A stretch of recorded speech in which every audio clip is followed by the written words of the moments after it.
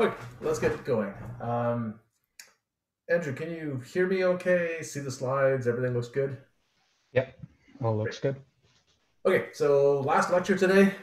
Uh, I know everyone will be sad, but you'll have some comfort in that you get a holiday break. So we're going to talk about uh, a few different architectures. First, about embedding NoCs, and then some some alternatives to traditional FPGA architectures. Okay, a bit of administration. Uh, assignment four has been released. It's due at the end of the day on Sunday, December 20th. Uh, it's worth 14% of your final mark. Not as open ended as the last two, so hopefully it won't take you uh, huge amounts of time.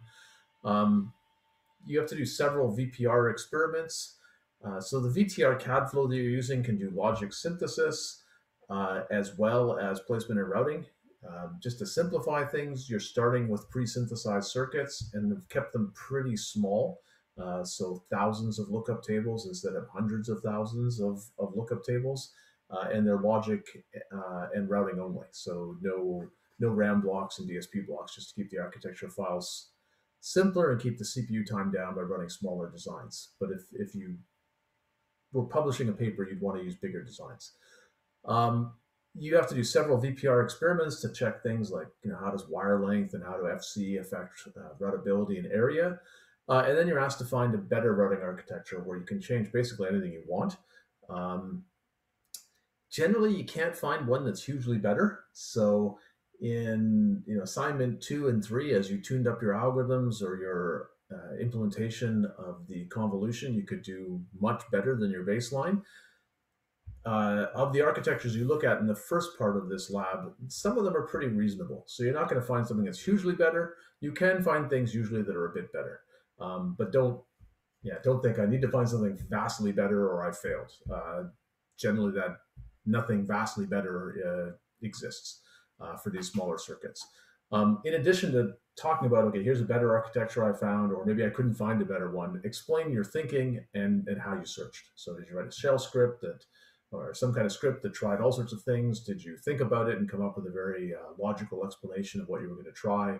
Um, but explain how you did this.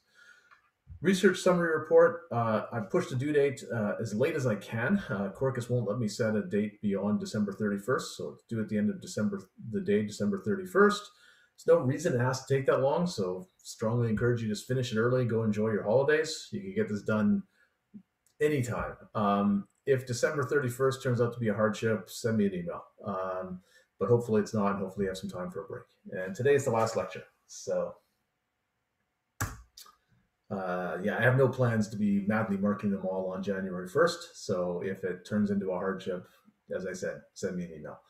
Uh, so assignment two, uh, convolution. We we said we'd uh, let you know who who did the the best on this, and uh, the best solutions are actually amazingly good. Okay, so kind of reading, uh, Madi and Marius did extremely well. They got five teraops per second uh, which actually matched our best. By our, I really mean Andrew. He did put all the hard work into this uh, reference solution. So, pretty well tuned reference solution that uses uh, only DSP blocks. Nadia and Marius were able to to get that, uh, and Andrew did not go beyond that in our reference solutions, but several students did. So Camilo got to 7.6 teraops by getting more copies uh, of the design by using a mix of soft and hard logic and running them at 380 megahertz. Uh, Gil and Isidore took different approaches, but got basically the same result of 12.4 teraops uh, by getting, again, a large number of copies, um, a mix of soft and hard, and uh, and then getting the clock frequencies pretty high as well. And they got the same answer, but in somewhat different ways. So Gil went for frequency, Isidore went for parallelism, and, and they wound up in about the same spot. Uh, and Edwin uh, is the, the, grand champion, 14.1 teraops per second. He got uh, over 1,500 copies of the design uh, by using hard and soft logic, and he made them all run really fast, 550 megahertz, which is a, basically the DSP block limit. So you can't really push it past that. Uh, so these are really big numbers. So the CPU, by comparison, using all four cores and the best compiler settings uh, and the best uh, version of the code that that uh, that we tried, uh, got well under a teraop, a 50th of a or 40th of a teraop, and the GPU did better, but still only got about a fifth of a teraop. So, um, so this is an application that's very well suited to an FPGA. Uses relatively low precisions, highly parallel. Uh, the communication is local. You get very good numbers. Uh, and later in the lecture, I'll tell you how to do assignment three. So yeah, so congratulations to to everyone on here. And Edwin, I'll uh, be sending you an Amazon gift card. And you feel free to do a virtual clap on the uh, on Zoom if you know how to do that. so Okay, this week's reading were two things. Uh, Tabula's time machine, so a different kind of architecture where it uses time domain multiplexing of the logic fabric and the RAMs to increase density. Um, so that's on and the latest Xilinx architecture, Versal. Uh, so we'll be talking some about both of those today, but can't cover everything in detail. They're interesting papers.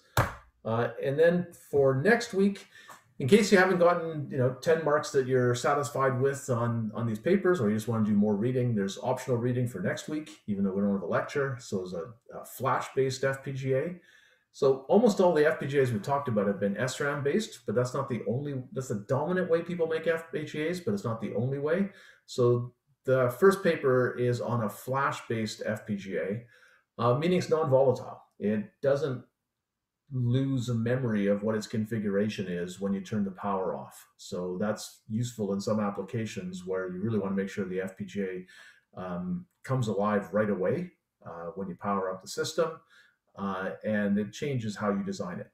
Uh, and then the second paper is the latest FPGA from uh, Intel. So this is their 10 nanometer FPGA, competitor to Versal, and uh, the various changes they made to it in particular, they've changed the routing architecture quite a bit.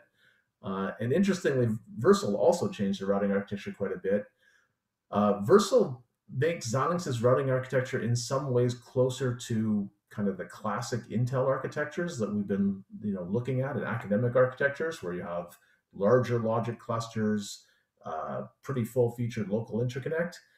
Uh, and Agilex, in some ways, moves Intel closer to a Xilinx style architecture where they don't they have more kinds of different wiring uh, so different a wide variety of uh, wire lengths between the logic blocks and they have less flexible uh, local routing because they they're finding that the local routing uh, if they make big crossbars it starts getting too slow so they're starting to make essentially smaller crossbars in their logic blocks so it's kind of interesting that Versal in some ways uh, in terms of routing architecture is a bit closer to what uh, Intel has been doing for the last few generations, and Agilex in some ways uh, moves away from some of those techniques. So uh, it's interesting they're following somewhat different ideas.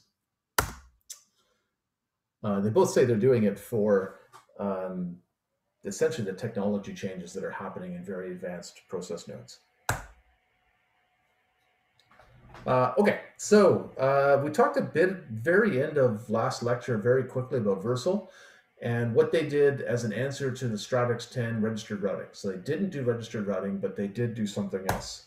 So just was going to finish off that discussion. Um, so so Stratix 10, as, as you remember, put pulse latches, so cheap registers, uh, on every single routing driver. So a lot of uh, pipelining ability. Versal, in their paper, they argue that they looked at that, they found it was excessive, they didn't want to do that. So what they did instead is they put inputs, they put registers on the inputs to logic blocks. Um, so what I'm showing here is basically their traditional logic block, just showing them a fracturable six LUT. It has two registers. You can use the registers or not use the registers. So that's like kind of a classic um, logic block from Xilinx. And what they've changed in Versal is they put optional registers, so you can bypass them with these muxes on all of the inputs to all of the lookup tables. Uh, and then they add in uh, optional delay chains. So we saw in UltraScale that they put in these um, delay chains where you can program in different delays on your clock. And looks like the very bottom of this uh, fell off the bottom of the slide. Sorry about that. Um, but these are the clocks, uh, and they can delay them. Okay, so is this useful or not? Uh, well, they have a, a, nice figure in there showing how how do they use this. So this is basically a picture of timing paths. Okay, so there's one timing path here. And let's see if I change my color. Uh, there's another timing path here. Okay, so they're just showing I've got some path to this register, and then I've got another path coming out of that register. And there's some interconnect delay of 1.5 nanoseconds, and then there's some logic delay of 300 picoseconds. So this first path has a delay of 1.8 uh, nanoseconds. And the other path, the one that comes out of this register, is faster. Uh, one nanosecond interconnect delay, 300 picoseconds of logic delay uh, before it gets to the next register. So it's 1.3 nanoseconds. So the original clock period is obviously set by the longer of those two paths, 1.8 nanoseconds. So what uh, what Xilinx points out in this paper is they say, okay, well now we've got these new input registers, so we can take this green flip flop and we can move it over here. Okay, because we don't have to use the register after the logic block. We can basically retime that flip flop to be before the, the lookup table because we have flip flops in all the inputs. So instead of putting one flip off, turning on the one flip flop on the output, we're going to turn on all the flip flops on the inputs, and it's exactly equivalent from the point of view of anybody observing outside the chip. So they're going to do that. They wind up with a somewhat more balanced delay. They still have 1.5 nanoseconds on this side, and now on this side, uh, they wind up with 300 picoseconds. Oops, sorry about that. They wind up with 300 picoseconds plus one nanosecond plus 300 picoseconds. So they get 1.6 nanoseconds. Okay, so they've sped things up. So their input registers give them more retiming opportunities.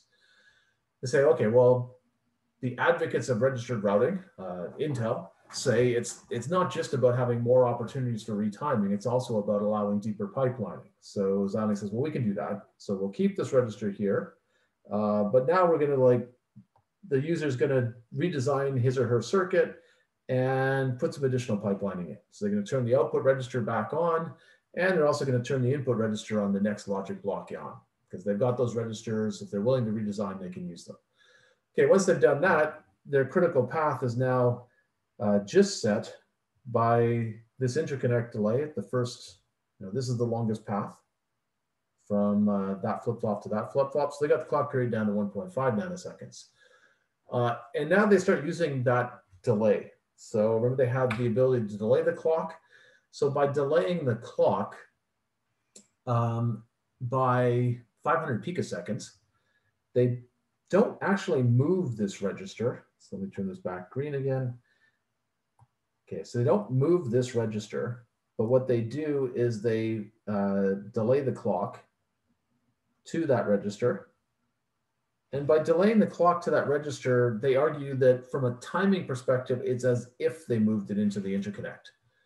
Um, so they're able to break up this long interconnect delay.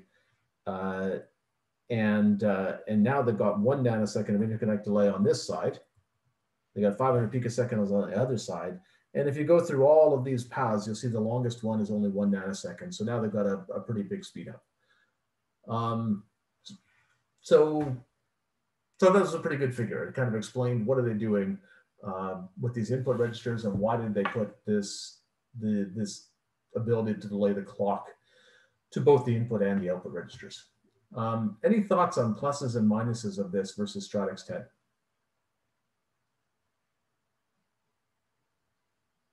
you got any thoughts, just type them in the chat or, or you could be brave and unmute yourself.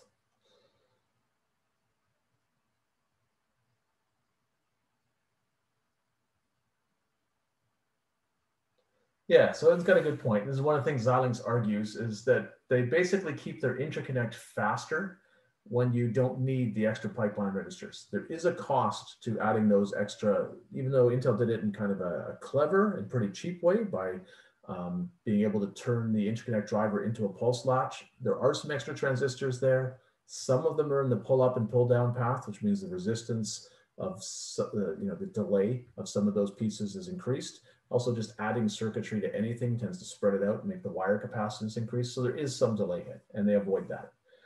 Um, so that that's their gain.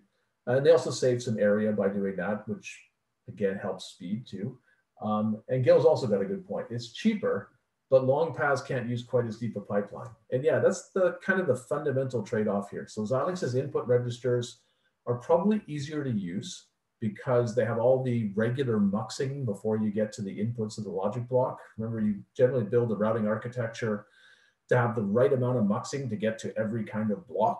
And in fact, it's one of the things that Xilinx talks about in the Versal paper. It's one of the things we talked about earlier in the in the course that you, you could put lo local interconnect in the logic blocks, because you put it in every block. Xilinx mentions that that's what they've done in Versal, and they hadn't done that before.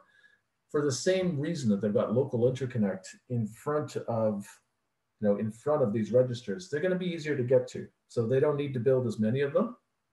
Um, on the other hand, and because they've got this delaying the clock trick, they can break up long interconnect paths, but they can only break them into two pieces.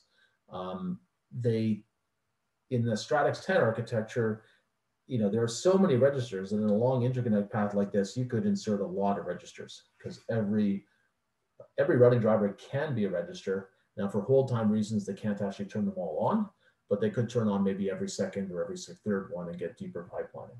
So, so yeah, so the Xilinx architecture is cheaper. Um, it doesn't enable quite as deep pipelining. It enables deeper pipelining than earlier architectures, but not as deep as Stratix 10. Um, there's an interesting thing in Stratix 10 that because of the way the CAD flow works for Stratix 10 and, and Agilex, basically Intel's CAD tools have to place all the registers in logic blocks during placement. And only after placement, when they get to routing, do they start moving those registers into the interconnect. Um, so that actually means that Stratix 10 struggles to pipeline things as deeply as you might think. Um, because while there are tons of registers in the, in the interconnect, because the CAD tools first want to place them all in the logic blocks, basically just because that's the way the CAD tools have always worked. And I suspect it's difficult to make them understand when you're doing placement that you can put some of the registers in the routing. Um, if you very deeply pipeline a circuit, assuming everything is going to go into interconnect registers, it can give some problems to Intel's CAD tools because before they put them in the interconnect registers, they first want to put them in logic blocks during the placement phase of your algorithms. And if that results in problems in placement, then you, uh, well, you have problems with implementing your design, even though, no, you, even though you know that if you got all the way to routing, uh, they could be moved into the interconnect. So, so it's kind of the CAD challenge you have with a radical change like, like putting interconnect registers in. Uh, okay, but these are the kind of my thoughts on that. So less area, less timing overhead. This is uh, basically, I think, what Edwin has said.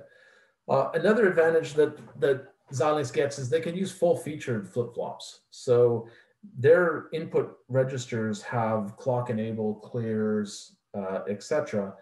Um, whereas the the pulse latches that are in Stratix 10 are just simple registers, right? They don't have clock enable. Well, they're not even really simple registers. They behave like simple registers. They don't have clock enables. They don't have clears, etc.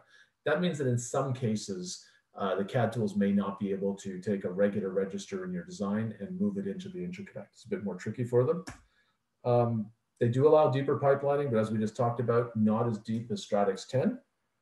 Um, and this clock skewing circuitry uh, is helpful by time shifting uh, the clock to a flip flop, you can make the flip flop from a timing perspective kind of appear to be in the interconnect. So that makes it uh, these input registers more useful than they might otherwise be.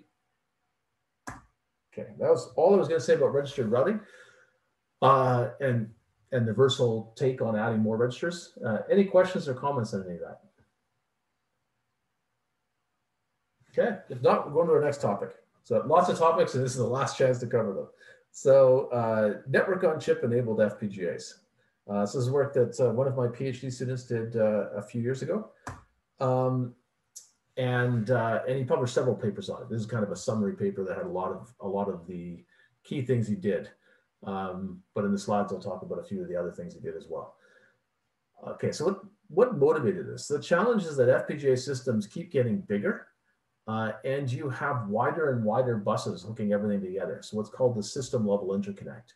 So uh, in particular, you get really wide buses between big modules and to your off-chip I.O., like your memory controller. So you got this memory controller and it's sending lots of data to different modules. And that's all going to be this high bandwidth data. So we're going to need wide buses for that. We're going to want to run them fast. We also have some high bandwidth communication between some of our soft modules um, and so on. Okay, so what do, what do people do um, in a traditional FPGA? Well, they design a soft bus for every one of these sets of connections. So for the communication pattern I just showed you, you build uh, a bus. Um, so bus is basically multiplexers. Usually you have some pipelining, so you have some registers and some arbiters to decide, you know, who controls the bus. And so I've got a bus here from this memory controller uh, that goes to, you know, several different modules. Okay, and it's actually going to take a lot of logic um, because it's wide. If I'm trying to move a lot of data, it grows quickly. Okay, so we're trying to build wide links. Um, so these buses are usually hundreds of bits. They sometimes now can even get to thousands of bits. And we're building them out of single bit programmable interconnect. So um, that can get big. If we're gonna build a 256 bit wide bus, then every multiplexer that allow, you know, in this bus that allows us to uh, connect multiple modules to this memory controller, uh, every one of them is a lookup table. If I need to have 256 bit wide buses, that's 256 lookup tables. If I need to pipeline it to get across the chip, every stage of pipelining is 256 bits wide. Um, and so it, it gets pretty big pretty quickly. Uh, the frequency of it can be, you're also trying to run it fast because we, it's high bandwidth. The way you get high bandwidth is either a high frequency or a wide bus or both. So we'd really rather not make this bus any wider than we have to. Like 256 bits is already pretty wide. So you're going to try to run it pretty fast, which means the timing constraints tend to be uh, challenging. Um, that means this can be a bit of a pain in your design.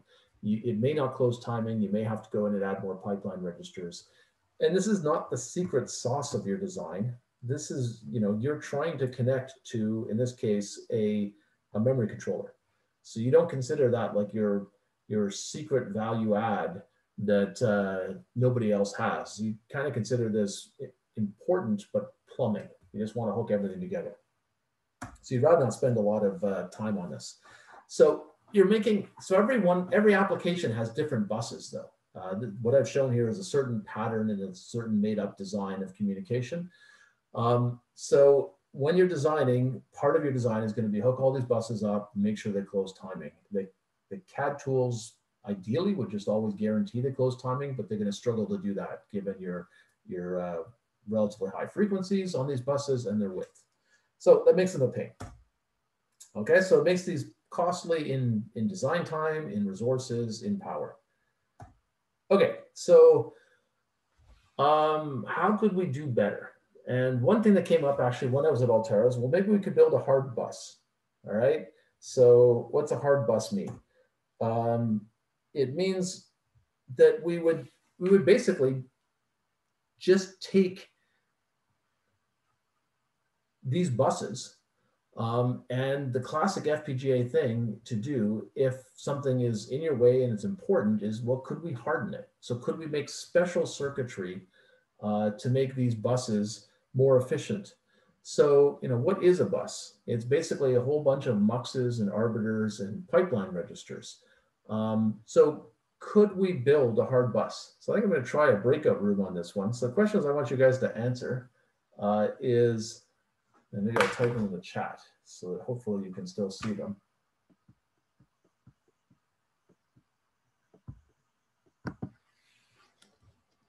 So could we harden uh, a bus structure in an FPGA? Okay. Um, so, and the questions to, to help figure that out are whenever you want to harden something, you ask, uh, how often is it used? Okay. And what we're trying to build is system level interconnect. So how often are we going to have that kind of system level interconnect, um, such as I've shown here? So how often is it used? You know, how expensive is it? Uh, so is it worth hardening? Uh, and then how, if we harden something, how reusable is it? Okay, so is it generally useful to maybe not every design, but to many designs? So, you know, you can harden anything.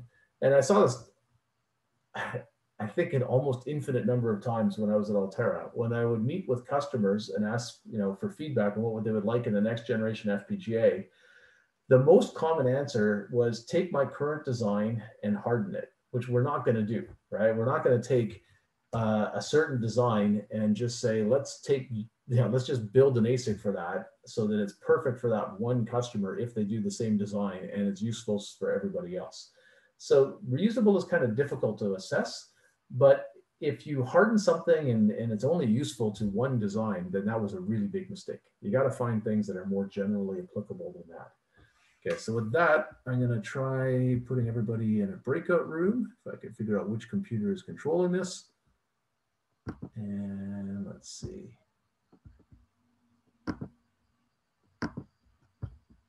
Okay, maybe this computer is controlling it. So, okay, so this computer is controlling it. All right, so I'm gonna put everybody in a breakout room and uh, hopefully you can still see the chat, but just in case, take a look at that now. So yeah, this is a real question that I was asked multiple times when I was at uh, at Altera, and and one of you know the teams that I ran was uh, basically half of the next generation architecture team. We know we've got these wide buses. We know they're going to certain you know things like memory controllers. Can we just harden these buses and get them out of customers' designs? So uh, I'll give you a few minutes to discuss that. Think about is that doable? Are there problems? What are the answers to the questions that is posed? Okay.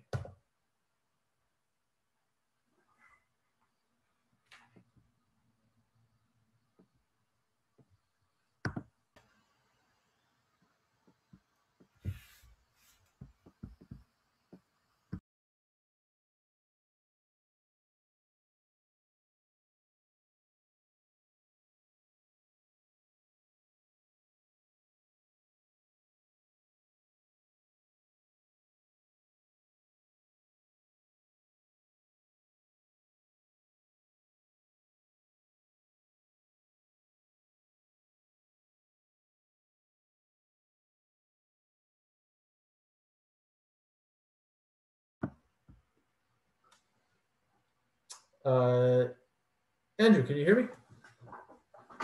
Uh, yeah. Uh, let's see. Okay, so I was in one of the breakout rooms. Uh, anybody want to summarize what you thought about this idea of hardening a bus? Does it make sense given all the questions that I put down? Any challenges?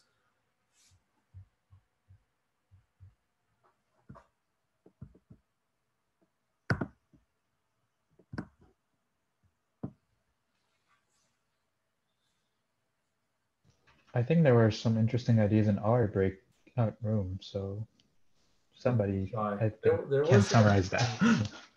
there were some interesting ones in ours too. So if uh, uh, you know, Gil or Tony, if you want to summarize your ideas, I think they're interesting. So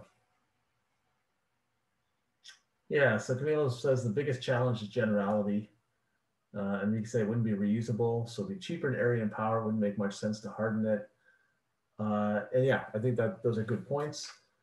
Um, place and route will be hard because of limited endpoints. Yeah, so you're hardening a bus to exactly where. You're kind of pre-choosing its width, you're choosing where the endpoints are. Now things have to just connect to those endpoints. So have you really made life that much easier? Um, and you've chosen how many endpoints there are. So you've made a lot of decisions and it's probably not going to be extremely uh, usable. Um, so that was actually ultimately my answer. Uh, close this up. You know, when when this came up in one of the architecture projects I was working on, of uh, we know we've got a bottleneck to uh, memory controllers actually in particular. So it was definitely a bottleneck, but I don't think we can solve it by just hardening a bus. Uh, there was a good comment in our breakout room of if you have something like a processor subsystem, that it you know, it makes more sense there. And the difference in a processor subsystem is you know what you're connecting to. I've got a processor, I've got some peripherals. I want to connect the processor to the memory controller. So I actually know where my endpoints are. I know what their bandwidth is. Now I have enough information that I can harden it. And it does actually make a lot of sense to harden the buses inside of a processor subsystem. Uh, in fact, the first generation of hardened processors from both Intel and Xilinx um, were not very successful because they they just put down processor cores and they didn't really harden uh, much else. No peripherals, no buses to the peripherals, etc. So they didn't really build enough of a processor subsystem for it to be very useful. You could build it out of soft logic, but that was a pain. The next generation, which is what we're using now, um, built not just processors, but peripherals, access to memory, etc., and built buses to them. So they're much easier to use. But for connecting the soft logic to everything, yeah, you have this problem of it's not clear where to put the bus endpoints, how wide to make them, how many, etc. Uh, yeah, and Diana's pointing out bus width is an issue. Um, so choosing the bus width is going to be challenging. If you build it too wide, things are going to waste it. If you build it too narrow, it's not very useful. So those are all good points. Okay, so the, for the hardening question, system level interconnect is in most designs, so we passed that test. Uh, is it costly in area and power? So is it worth hardening? Yes, it is. So we passed that test. Um, but our basic problem, okay, so if we choose to harden this, so I've just shown what if I hardened a bunch of buses? So I built, pre-built the muxing and arbitration here. I pre-laid out a bunch of uh, wires. Um, it's great for the design I showed you. But if I take that design out, okay, so I remove all those modules, somebody else has been doing a different design, they have a different group of modules, different sizes, different communication pattern. They basically just don't map onto those buses. Um, so this other design, I've got things connecting to PCIe and uh, more and to memory controllers less, and they connect to each other in different pattern. And it's just not clear how I can use these buses. So it doesn't really work. It's too design specific. Okay, so what we need instead is, uh, well, we can just stick with the current soft interconnect. So that's one strategy. We just give up and say there's nothing we can do. Um, but the other approach would be to say, well, is there a more general system level interconnect that we can harden? So it needs to move data between arbitrary endpoints. Uh, it needs to be high bandwidth so we can match you know, the needs between big modules and in particular to IO interfaces. Um, IOs are play, we know where the IO interfaces are, memory controllers, PCI Express, etc. And we know they produce a lot of bandwidth and therefore they need high wide buses. So that's a, that's a good anchor for us to use to decide how much bandwidth do we need. And, and obviously we want them to be efficient. If they're not efficient, we shouldn't put them on the chip. Okay, so a network on chip um, satisfies those, well, possibly satisfies those. We have to go look at it. Okay, so how would we make an embedded network on chip? So a network on chip is basically two things. It's routers uh, and it's links. Okay, so these little circles are routers. Um, and these routers are a bit more flexible than the just muxes and arbiters that we had in traditional buses. So these routers are going to look at uh, a packet header. Um, so they're basically little versions of internet routers. They look at a packet header and decide where is the uh, data part of this packet supposed to go. Uh, and then the links are just the wires in between these routers. So they connect the various routers together. Um, and it's, it's basically a complete interconnect solution. It moves your data, it can switch your data to different spots, and it can buffer your data um, to basically make sure it gets high throughput. It has buffering built into it, so it doesn't have lots of back pressure that slows you down. Okay, so how does it work? So say I've got some data in module four, and I want to send it uh, across the chip. So module four has to packetize that data. So it, it takes its data and it in, it adds a little bit of information, a packet header that says, where do I want it to go? So like an address. Okay, that packet will be divided up into smaller units called flits or flow control units. That's basically what's going to get sent every every cycle. So we're not going to send the packet all at once. We're going to send uh, it in over multiple cycles uh, as multiple flits. Okay, so and this nice animation shows how that happens. So, and it's animation so nice, I'm gonna show it again. Okay, so each of those flits, basically, the module puts it onto the nearest router. Okay, so it has an access point to the nearest router. It sends the data into that router. The router looks at the header uh, and decides where it has to go. And it sees it has to go to the right. And that happens over several routers until we get over here. This router sees it has to go down. It sends it down here. This router, when it examines the packet header, sees, oh, this is actually destined for me. So I'm going to output it uh, back to the soft fabric and the module around me can get it. Okay, so that module now has all the data and it can, if it wants to, reassemble it into one big data word, or maybe it was happy with it in pieces. Uh, okay, so that's how it works. Um, does this meet the test of generality? Okay, so let me just go back so you can see this. This is like my, my first test case. I had these four modules. Now let's say I, I've got a different design. And that different design now has five modules with a different communication pattern. And we're not talking to memory as much anymore. We're instead talking more to PCI Express. So that's where our hardened bus kind of fell down. It no longer served any useful purpose for this new communication pattern.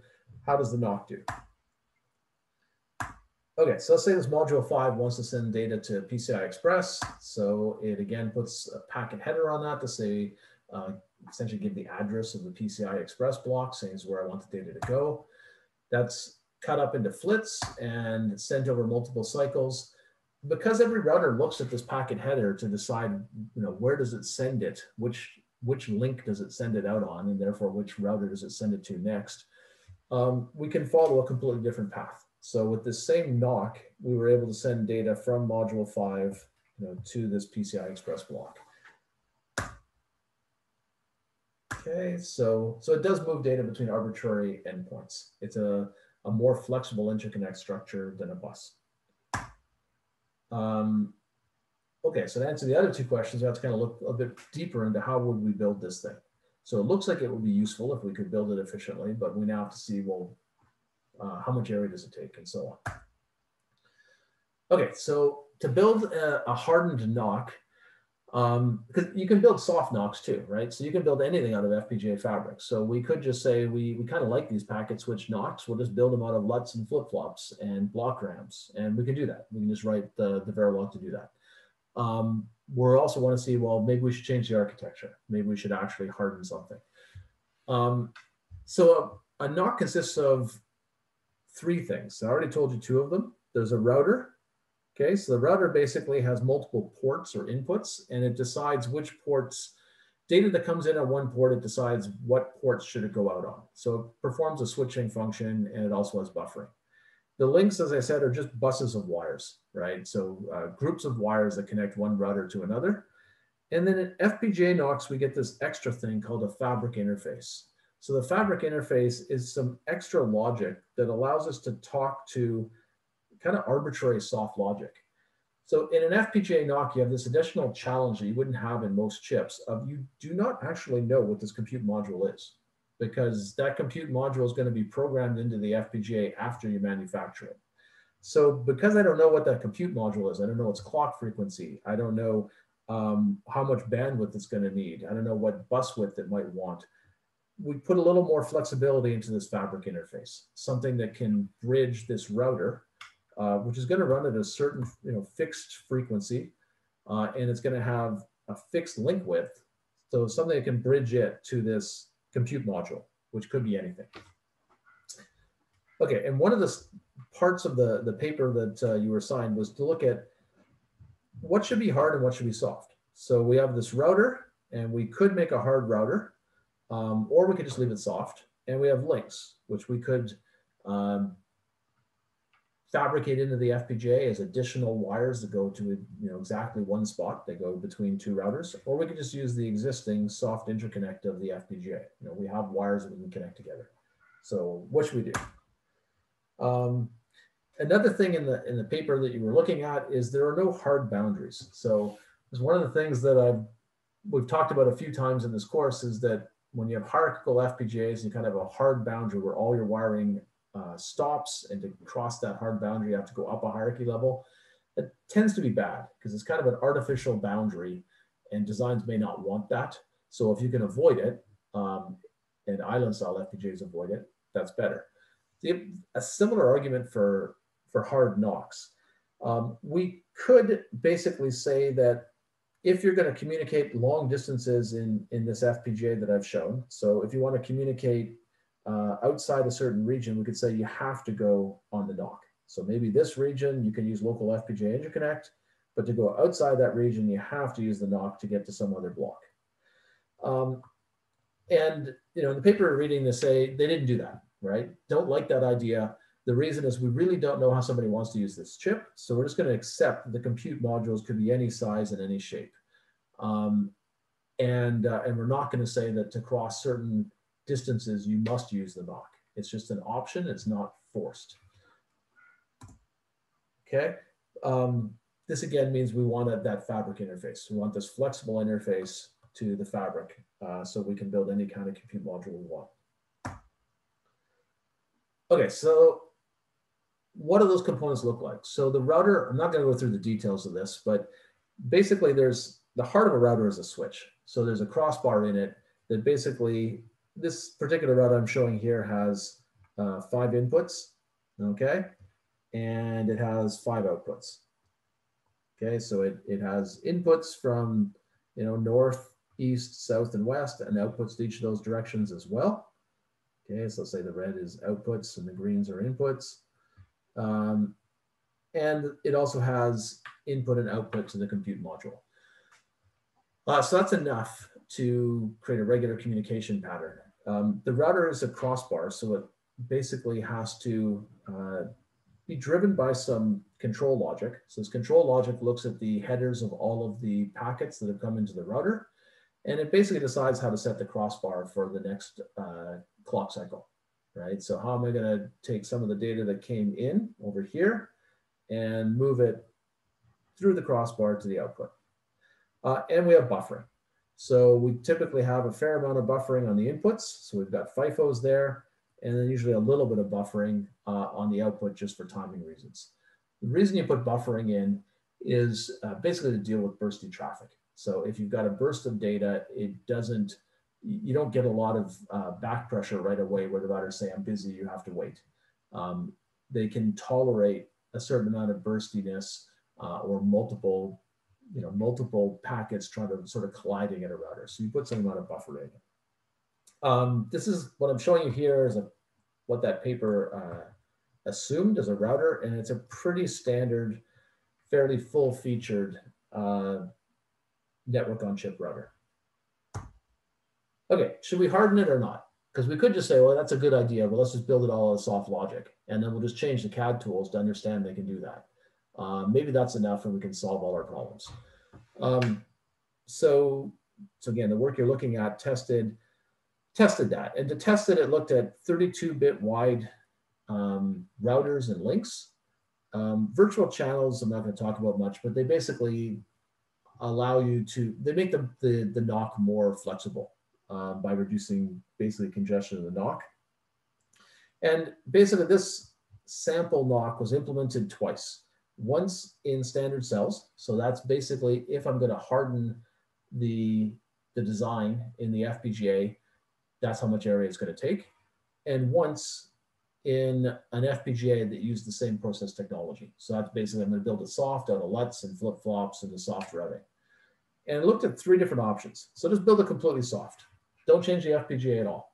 Build it partly hard. So harden the router, but don't change the links because FPGAs already have a lot of interconnect and that interconnect can be programmed to connect anything. So we'll just use it to connect our routers. The routers are going to become like essentially new function blocks, but they're not going to change the interconnect. And then fully hard. And fully hard, we get routers as new function blocks, but we also connect them with a new dedicated interconnect um, that only goes between the routers.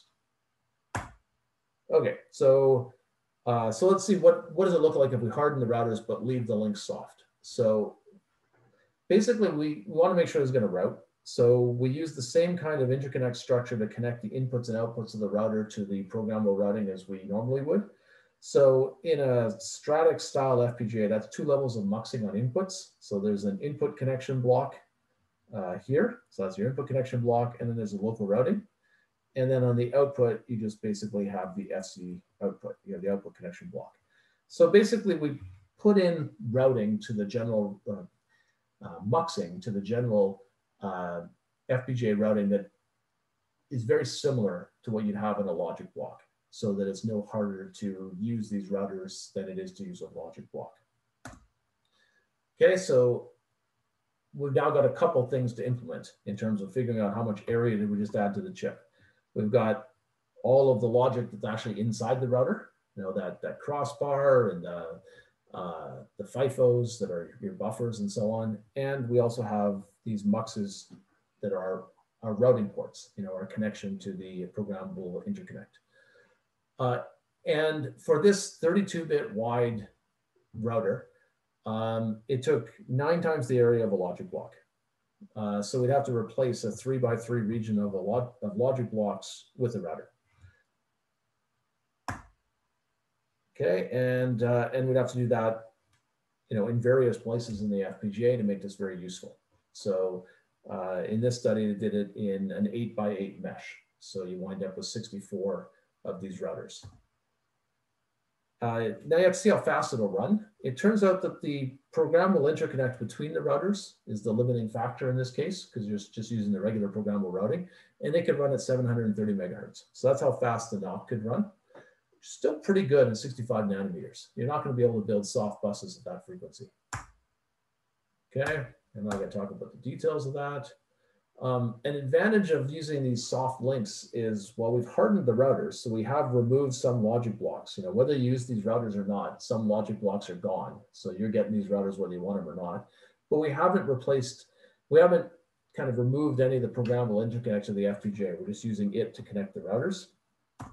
So that means we can actually use any topology of NOC we want. So you could decide what's appropriate for your design. You might make a ring you might make some kind of fat tree, uh, whatever you need. Okay, some funny uh, shape that nobody knows what it's called, etc. Okay, so that was uh, one option, harden the routers, but don't change the interconnect. Second option is harden the routers and also put in dedicated wiring. So dedicated wiring, you know, we need to have some extra metal. Um, and we're going to put wires that are you know, kind of like the DSP cascades or the carry chains, like they go exactly one spot. They go between routers and nothing else. This actually saves us logic or transistor area because we get rid of the uh, the muxing, the programmable routing ports. We can just have basically buffers now. Uh, these wires are simpler because they only go one spot. Uh, so actually this makes the router, if you're dominated by transistor area, this actually makes the NOC cheaper uh, a router plus these dedicated links only takes seven times the area of the logic block instead of nine times. Um, and this dedicated interconnect can be made faster because it only goes one spot then, and has no switching uh, than the general FPGA routing. Okay, so this actually works pretty well. Um, we do have to fit these additional green wires into, in the interconnect stack, uh, but it's not a huge amount of extra wiring. So uh, that micro paper and some of the related ones make the case that it should fit in the metal stack. Okay, so now we always have a mesh, okay, because we've got dedicated wiring. There's no more you choose your own topology. It's for sure a mesh, whether that is the best choice or not. Uh, but it runs faster. than 65 nanometers, it ran at 900 megahertz. Okay, uh, okay, so how did, how did this compare to soft? So if you build a packet switch NOC like this out of soft logic, a single router takes you, um, you know, plus the links to the other blocks takes you 4.1 square millimeters of logic. Uh, and it only runs at 166 megahertz in a 65 nanometer FPGA. If you harden the router but not the links, uh, the area drops by 22 times per router, and the speed goes up by 4, 4x, and power drops a lot too. If you harden both the router and the link, it's even better. 27 time reduction in area, and the speed at which you can clock it goes up by almost 6x, and power drops even more. Um, so we often take, you know, area times delay. So we combine these two to get throughput. So you're getting 150x throughput per area. Now you're not going to use the whole NOC. Um, whenever you harden something, like you're to harden this NOC, you're to harden a certain number of routers, and probably very few applications use every single router, uh, and some may not use any. Um, so you are going to waste, for some designs, this will be wasted. Um, for most designs, at least some will be wasted, but this is still a really big improvement. So 156 50x is really big, even if you don't use every router fully. So that looks pretty good. okay, so flexibility though. Now, so that means the case for hardening is pretty strong. Um, uh, and it looks like it's best to harden both the router and the links. Uh, and the micro paper says harden them in a mesh If you harden them in a mesh, it's kind of similar to an island style FPGA. You don't know exactly what people would like to use, but you do know a mesh can be laid out efficiently. So why not do a mesh? Um, I already talked about this fabric interface. Okay, so the fabric interface is now necessary to make sure this NOC's generally useful. Um, it, the NOC is going to run at, is, NOC's over here. Okay, so that's my input to my router from my compute module. And the NOC's going to run at whatever the maximum frequency it can. So at 65 nanometers, that was 900 megahertz for this NOC. So you're going to run it at that frequency. Um, but the module, the FPGA, what the person's put in the FPGA, their Verilog, you have no idea what frequency it's running at. It's going to be different for every design. So maybe it's 200 megahertz, for example. Um, so how are we going to bring these things together? So we bring them together in two ways. So we do the, the sort of classic FPGA thing of uh, take a wider but slower bus and um, bring it into a, basically do time domain multiplexing to convert it to a narrower, uh, faster bus. So we can basically take a 128-bit bus out of the module, uh, that's soft logic, and then um, put a little bit of logic in that does time domain multiplexing and convert that to a 32-bit wide bus at 800 megahertz. Now, 800 megahertz is still not the same as this router, okay? So then we, we can use a, um, a dual port FIFO to basically, we write data in on one clock and we read data out on a different clock. Um, and there's a little bit of logic to keep track of where are you writing and where are you reading from but this is a standard technique to cross between clock domains. Um, so basically we can bridge between these different clocks in two steps. We have a configurable time domain mux demux to match the bandwidth. I'm showing the input path, but basically reverse everything on the output path from the router.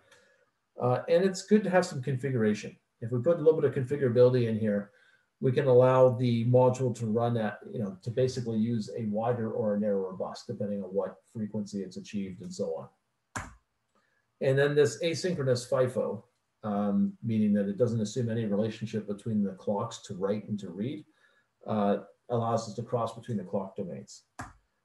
Um, so by putting in this fabric interface, basically we can use the full bandwidth of the NOC because the NOC can always run at its, at its maximum frequency but we haven't put any restrictions on the FPGA soft logic. These compute modules can, can use, they can choose from a few different data widths and they can use any clock frequency they want. Um, so we haven't put restrictions on them. Uh, and it turns out it's actually very important. You could build everything I just showed you in either soft logic or hard logic. It turns out to be really important to harden it. The reason it's important to harden it is these buses are wide. Um, so if you leave this soft, it actually adds up to a fair amount of area. If you harden it, it's not very much area. So to make the NOC efficient, it's not enough just to harden the routers and the links. You really also want to design and harden this fabric port rather than, so that basically the, the soft logic module can connect to a really easy interface. You want to have this fabric port to make it really easy for it. Does that make sense so far? So it looks pretty good from a physical perspective to harden it. And in fact, the study says harden the router, harden the links, and go even further, harden this new thing called the fabric port. Okay, so the next thing um, that the study and looked at was how, how wide should the links on this NOC be? Um, so I was just showing you a study that did 32-bit wide links. Is that the right choice? Okay, so now this, this is another paper uh, that I'm quoting results from and it did the study at 28 nanometers. Um, at a 28 nanometers, a 32-bit wide hard NOC could run at 1.2 gigahertz, so a bit faster, and that gives us 4.8 gigabytes per second per link. But then if you look at some of the things you want to connect to that NOC, they actually have higher bandwidths. So if you look at memory controllers uh, in 28 nanometers, uh, depending on the exactly which memory standard you're talking to and so on, you got data bandwidths of 8.5 to 17 gigabytes per second. PCI Express was similar. Okay, if you used a, an eight lane wide interface, you got 8.5 gigabytes per second. If you used a 16 lane wide interface, which was also pretty common, you get about 17.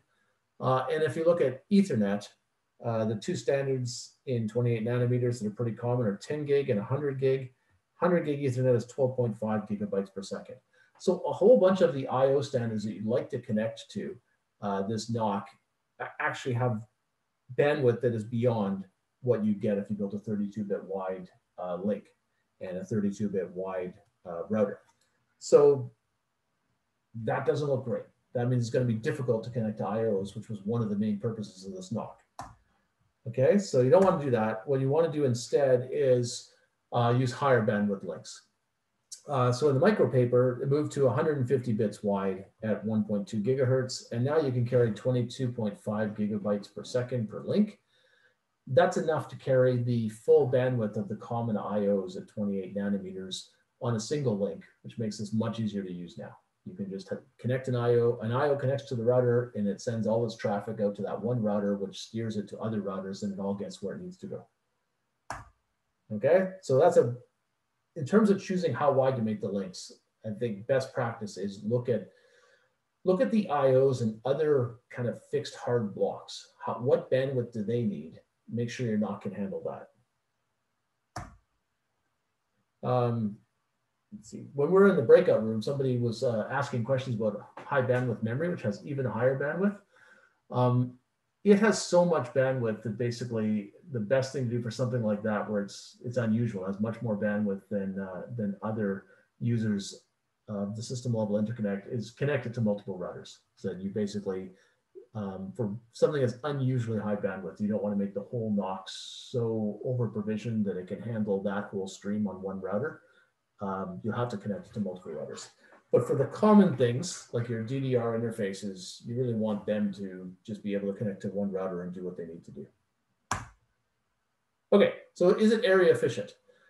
Um, so you want to keep the cost of something new like this low.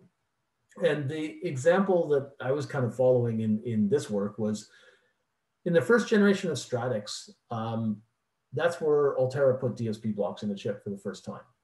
And initially, there was nobody who was going to use those, right? Because FPGAs, uh, well, Terra FPGAs didn't have DSP blocks before, so nobody was using it. Um, but their die size was relatively limited because we put some in, but on an enormous number. Um, so it was about 2% of the die size. And in the first generation, most people did not use them. But 2% die size doesn't kill the product. It's a little bit of a cost penalty, but it's not too bad.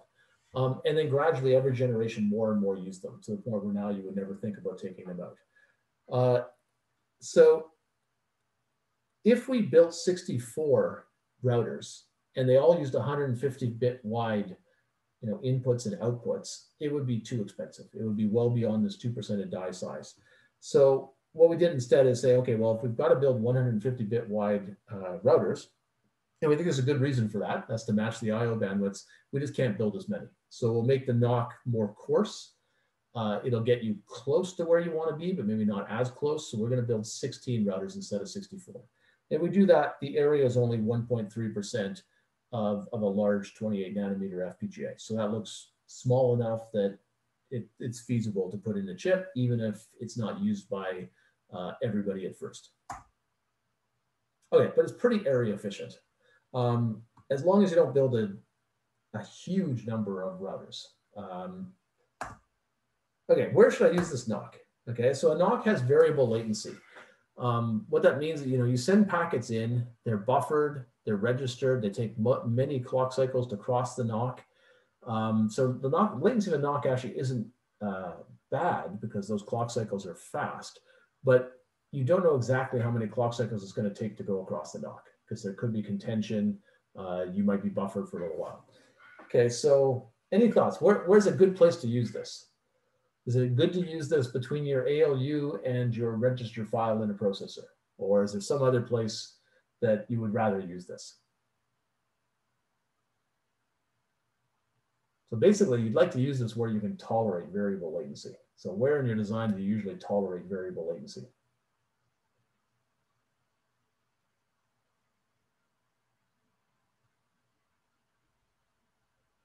see if anybody's got this one.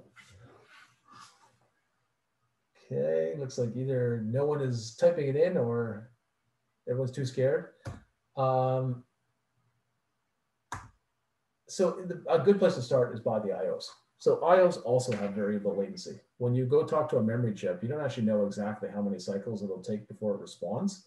But you talk to a memory controller, there's a whole protocol for it to decide what does it have to do to talk to the memory chip behind it Uh, you might have to do what's called a row access. You might have to do a row and then a, uh, sorry, might have to might be able to do just what's called a column access or or a page hit, or might have to do a row access and then a page and then a column access.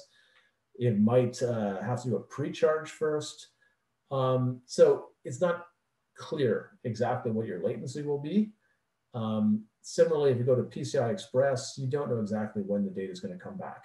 So IOs already have variable latency. It means your logic must already have some kind of valid flag coming back telling it when the data's arrived, and you had to have built your logic to understand that that that that might be some it might be 10 cycles, it might sometimes be 20. Your logic has to understand that. So IOs are the easiest place to stick a, a NOC in, right? So you can use it for essentially a communication infrastructure. We've got a bunch of kernels that are all communicating and they, they might still use only the regular FPGA interconnect. Um, but where they want to talk to the various IOs of the chip, uh, that's the most obvious place to start using a NOC. Okay, so a little more on, on we now do an efficiency study uh, that's now moving a little more to the application level. Um, QSYS is in, they keep renaming it. Now it's called, uh, I think, Platform Studio, but it's, it's Intel's system integration tool. It'll make it easier for you to build these soft buses. So you're writing a whole bunch of HDL, you can just describe, here's what I want to hook together, and it'll, it'll generate Verilog files that are the soft buses you need. Uh, so we used QSYS to build um, some buses for interesting uh, test cases. So we're trying to talk to a DDR3 interface, um, which is 64 bits wide, running at 800 megahertz and using both edges of the clock. To match that data bandwidth on chip, we're using buses that are 512 bits wide, but 200 megahertz. Okay, so the buses have to be eight times as wide to match the fact that um, this is 800 megahertz times two at the DDR controller. And, and we're varying how many things want to talk to this DDR controller. You know, we might have one module, we might have two modules. Some of those modules might be conveniently running at 200 megahertz, which perfectly matches the bus frequency we're using. Some of them may not be, right? So this module is running at 250 megahertz. And if it's running at 250 megahertz, we need to build out of soft logic, so RAMs and logic, uh, RAMs and lookup tables and registers. We need to build uh, an asynchronous FIFO, so that clock domain crossing FIFO. Um, and uh, the bus itself consists of pipeline registers, multiplexers, arbiters, and sometimes these asynchronous FIFOs. Okay, so the competition, the what we're trying to see if it works better, is a hard NOC. So the hard NOC is, in this case, was 910 megahertz, 128 bits wide. Um, again, to be able to move all the data from this across one link and one router. Uh, so basically one path in this NOC is sufficient to move all the data from this DDR controller. So it can just connect to the closest router uh, and that'll be enough. Um, but when it decides that it's going to, some new data stream is happening and it wants to connect to this module, that's fine. It just puts a different packet header in and uh, the routers will get the data to the right spot. Okay, so, so we, we compared what is the area uh, if we're just building, we're just connecting a bunch of modules to one DDR interface. Um, so the hard NOC always took the same area. The reason it took always took the same area is you have to build the whole thing. So you build 16 routers with 128 bit wide uh, inputs and outputs. And that took a little less than 2% of the area of, uh, of a big 28 nanometer FPGA. Um, the area that it takes to implement this with soft buses varies. It depends on what you're trying to build because the advantage of soft buses is you only build what your exact application needs. So if we are convenient, all of our modules are running at 200 megahertz, which means we don't need any cross clock crossing FIFOs, we get this line. Okay, so if we have one module that wants to connect to one memory interface, it actually takes less area in the soft logic than this hard NOC. But if we want to have two modules share that DDR interface, already that costs as much area as the whole hard NOC. And if we want more modules sharing that DDR interface, it gets worse and worse. if those modules were running in some different clock frequency, we need to add in uh, that extra clock domain crossing FIFO for each of them, and then the area is even worse. Now, even one module talking to uh, a DDR interface is almost as costly as the whole NOC. And by the time we're at three, they're much more costly. Um, this hard NOC can do a lot more than just connect a few modules to one memory interface. So even you know way out here, we're not using most of the bandwidth of the hard NOC. It could actually still connect us to PCI Express and some other memory interfaces and so on. So this is a pretty promising result. It looks like the NOC is actually very efficient, even if you don't use, you know, most people will probably underutilize it, but even if you underutilize it a lot, it's a net win. Okay, so that's basically what I just said. We're not using all the bandwidth, but it's a win. Uh, I'm not to talk about this in detail. Basically, we do the same study for power. It's an even bigger win, um, but basically the same conclusion. All right, so a few other thoughts on this. So, um, so basically, hard NOCs look pretty good for replacing the system level interconnect, particularly to your IOs, this kind of communication infrastructure. Uh, what about the data center? So when you put an FPGA in the data center, pretty much everybody's adopted this notion of you have an accelerator that you call the role, and somebody is designing that from scratch with Verilog or some other tool. And then there's a shell, which the data center operator makes.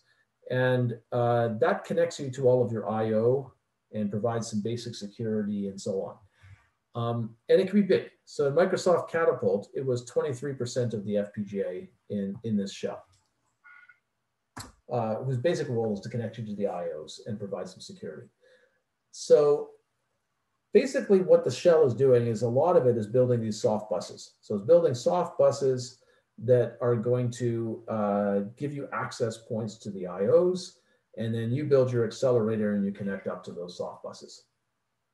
Okay, and and these soft buses have been pre-compiled, like this portion of them in the green has all been pre-compiled and locked down. So you can't change its placement and routing if you're a rule designer. Okay, so when you swap in a new accelerator, um, you know, this, a new accelerator, you know, may use, let's see, we can see the animations. This, this particular accelerator uses three of my IO interfaces, but it doesn't actually use this one, okay? Uh, I put in a different accelerator and now it uses all four.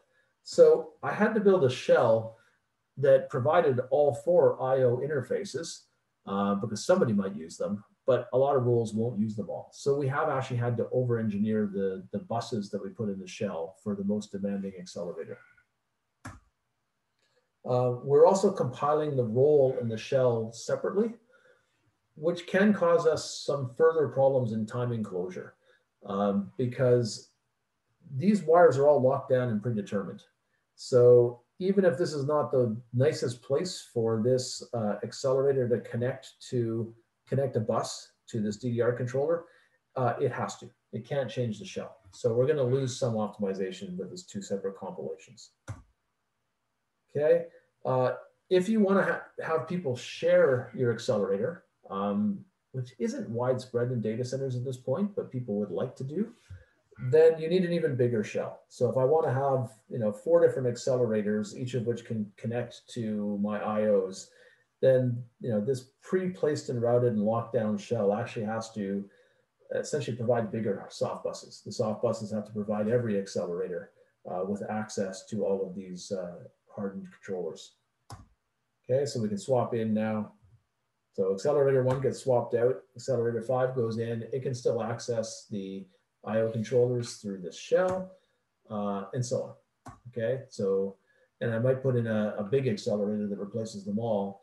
And now my shell really looks over-engineered because it's trying to provide everything, uh, all these IO components to a whole bunch of smaller roles. Okay, so what if we build an embedded NOC?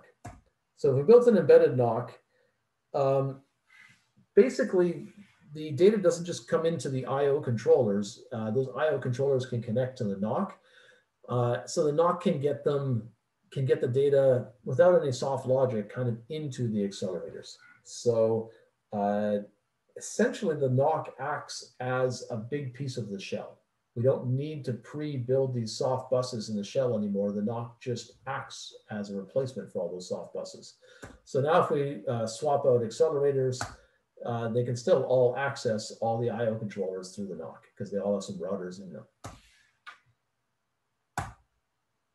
Um, and I'm not going to go through the details of this, but there's a uh, another paper uh, that one of my other PhD students um, authored that looks at uh, if you use a, a, hardened NOC versus a traditional um, soft bus-based shell, how well do those two things work in a data center environment? Um, so basically he did a few things. He took, this is a design where you're, you place and route the whole design all at once. So there's no shell and role separation at all. And you get a certain amount of routing congestion in this design. If you instead say, no, I've got four roles and they're floor plan to different regions of the chip. So that's my accelerator. And then in between them is my shell, my soft buses that will get me at my IO controllers. Uh, you actually get a lot more routing congestion. So this red is, is bad. Um, if you instead built a hard NOC, so this NOC, all of these little blue things are uh, represent routers, then basically your shell has access to the internals of the roles just naturally. And, uh, and you can remove all these soft buses and you get a lot less routing congestion. And uh, I don't think I'm to go through the next couple of slides, but if you want to look at them offline, basically shows it's also good for timing. So for for data centers where you'd like to separate the compile of the shell from the compiles of the accelerators, uh, a NOC looks extra good, right? It, it provides the system level interconnect for you and it's more flexible than these pre-compiled soft buses that you otherwise put in your shell. Okay, so last few comments on this. Uh, what about interposers? Um, we talked about interposers last week, and uh, they fit FPGAs very well. So they're being used pretty heavily in FPGAs, particularly by Xilinx. But there's a concern about uh, how well are these microbumps going to scale. So in the first generation that Xilinx did this in, Virtex 7, they could get a little more than 20% of the wiring, you know, between the silicon die, right, at these cut points. Um, because they could put microbumps all over the region near the interface. Those microbumps are getting a bit smaller as you go to more advanced processes, but not that much smaller. Um, but we're getting more and more logic uh, and more and more regular routing wires, you know, in each of these uh, pieces of silicon as we go down from you know 28 to 20 to 14 and below. Uh, so it means it's a challenge to keep the interposer routing bandwidth um, scaling at the same rate as the routing bandwidth within the FPGA. And we talked last week about a study that showed that if it was if you had more than 20% of the wires crossing the interposer, things looked pretty good. Below that, it looked more challenging. Um, and the fact that microbumps don't scale as well as regular wires uh, means that you know there's a good chance we're going to fall below this 20%, and you've got a more and more difficult CAD problem. Okay, so a NOC actually helps with that because we put an embedded NOC into uh, an FPGA that's made out of multiple pieces of silicon on an interposer, you know, you'd have routers in every one of the uh, FPGA pieces of silicon, and you'd have links going between them. So some of these links, the link I just showed you is crossing between uh, dice across the interposer. Uh, on a hardened NOC, you, you run the hardened NOC as fast as you can.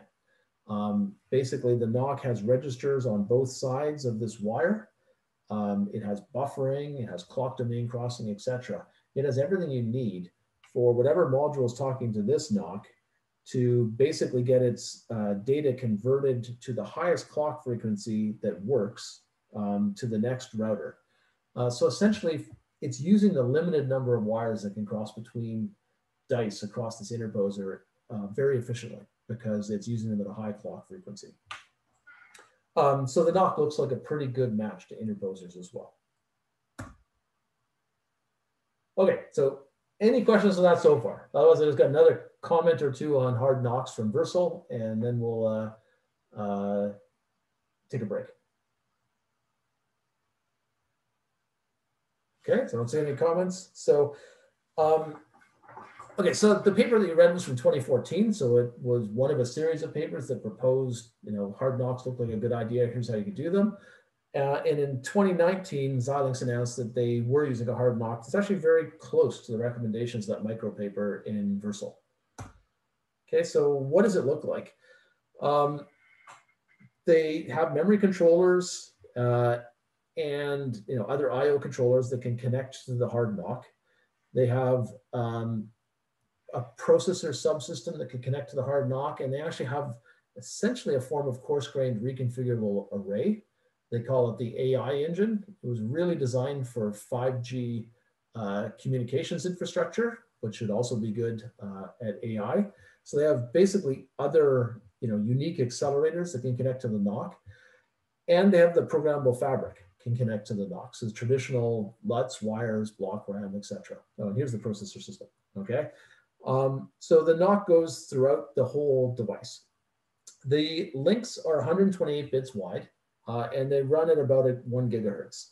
And the reason is to match the DDR channel bandwidth. So very close to what we talked about earlier in this lecture. Uh, DDR kind of looks like the killer app for a NOC. Make sure you match its bandwidth. Um, it doesn't interrupt the programmable fabric, so that's probably not obvious here. It kind of looks like you've got islands of programmable fabric, and maybe to connect from that programmable fabric to that, maybe you have to go through the NOC. Uh, you don't have to, okay? So all the programmable fabric routing wires, like your traditional, you know, you got your muxes and direct drive switches, they go across this. So there's no interruption in the programmable fabric. Um, the topology, you can see that there are, you know, this is a router and this is a link. So the topology is similar to a mesh, but not exactly a mesh. So it's, you know, it's a two-dimensional structure where everybody's connecting to their nearest neighbor, which is much like a mesh. Um, but to make this fit in a column-based layout, and Xilinx, like most FPGA vendors, likes to lay their FPGAs out in columns, they basically have taken um, they've taken the routers and arranged them in entire columns, okay? Uh, so it's like they've taken the mesh and kind of pushed certain columns together uh, so that uh, they don't wind up with just a router here and there in the programmable fabric, which is what that micropaper proposed. Instead, they wind up with entire columns that are routers. Uh, now, they don't have the wires for the NOC going across this programmable fabric, okay, so that doesn't exist. So to make sure they have enough bandwidth going horizontally, they basically, it's again like they've taken multiple rows of the mesh and pushed them to the bottom. That's why they have multiple sets of routers with multiple 128-bit links. So similar to a mesh, somewhat more irregular connectivity, but more layout friendly because they pushed everything into columns or the top and bottom of the device. Um, they have actually quite a few. Uh, let's see. So they build in fabric ports. Okay, so every one of these routers has fabric port with hard clock domain crossing and so on. So they also follow the uh, the guideline of make sure it's essentially glueless. It's very easy for the arbitrary programmable logic to connect to you. Um, uh, but they actually write up quite a few of them. So they, they have a hundred of these fabric ports they don't explicitly say that means there are 100 routers, but it sounds like they have quite a few routers. Um, and this is actually the only way to access the memory controllers. Okay, so I said it doesn't interrupt the programmable fabric. So we can connect these pieces of programmable logic using regular routing. There's not really any break here, but it is the only way to connect to the memory controllers. Um, and what this allows you to do is now any spot in the FPGA can connect through the NOC to the memory controllers. It's not all it can connect to, but um, again, it makes it work very well for System Level Interconnect. Uh, and Xilinx has a paper, uh, which I haven't assigned, but this is another paper on just the Versal NOC. So they have a whole paper on how this NOC works. But it overall is pretty close to the uh, micro paper. Okay, whoops, I'll talk about that in a minute. Um, any questions on any of that?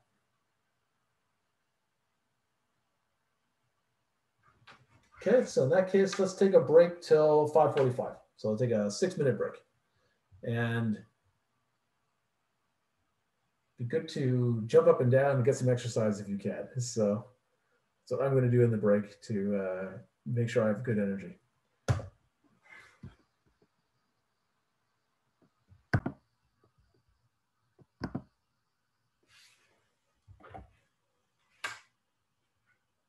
Okay, we're back. So uh, actually, before we go to the next topic, I was going to announce the assignment three contest winners. Uh, so actually, some really good solutions. So my reference solution, which I uh, believe is pretty good, and worked, I worked pretty hard on, uh, gets an average area of 2.07.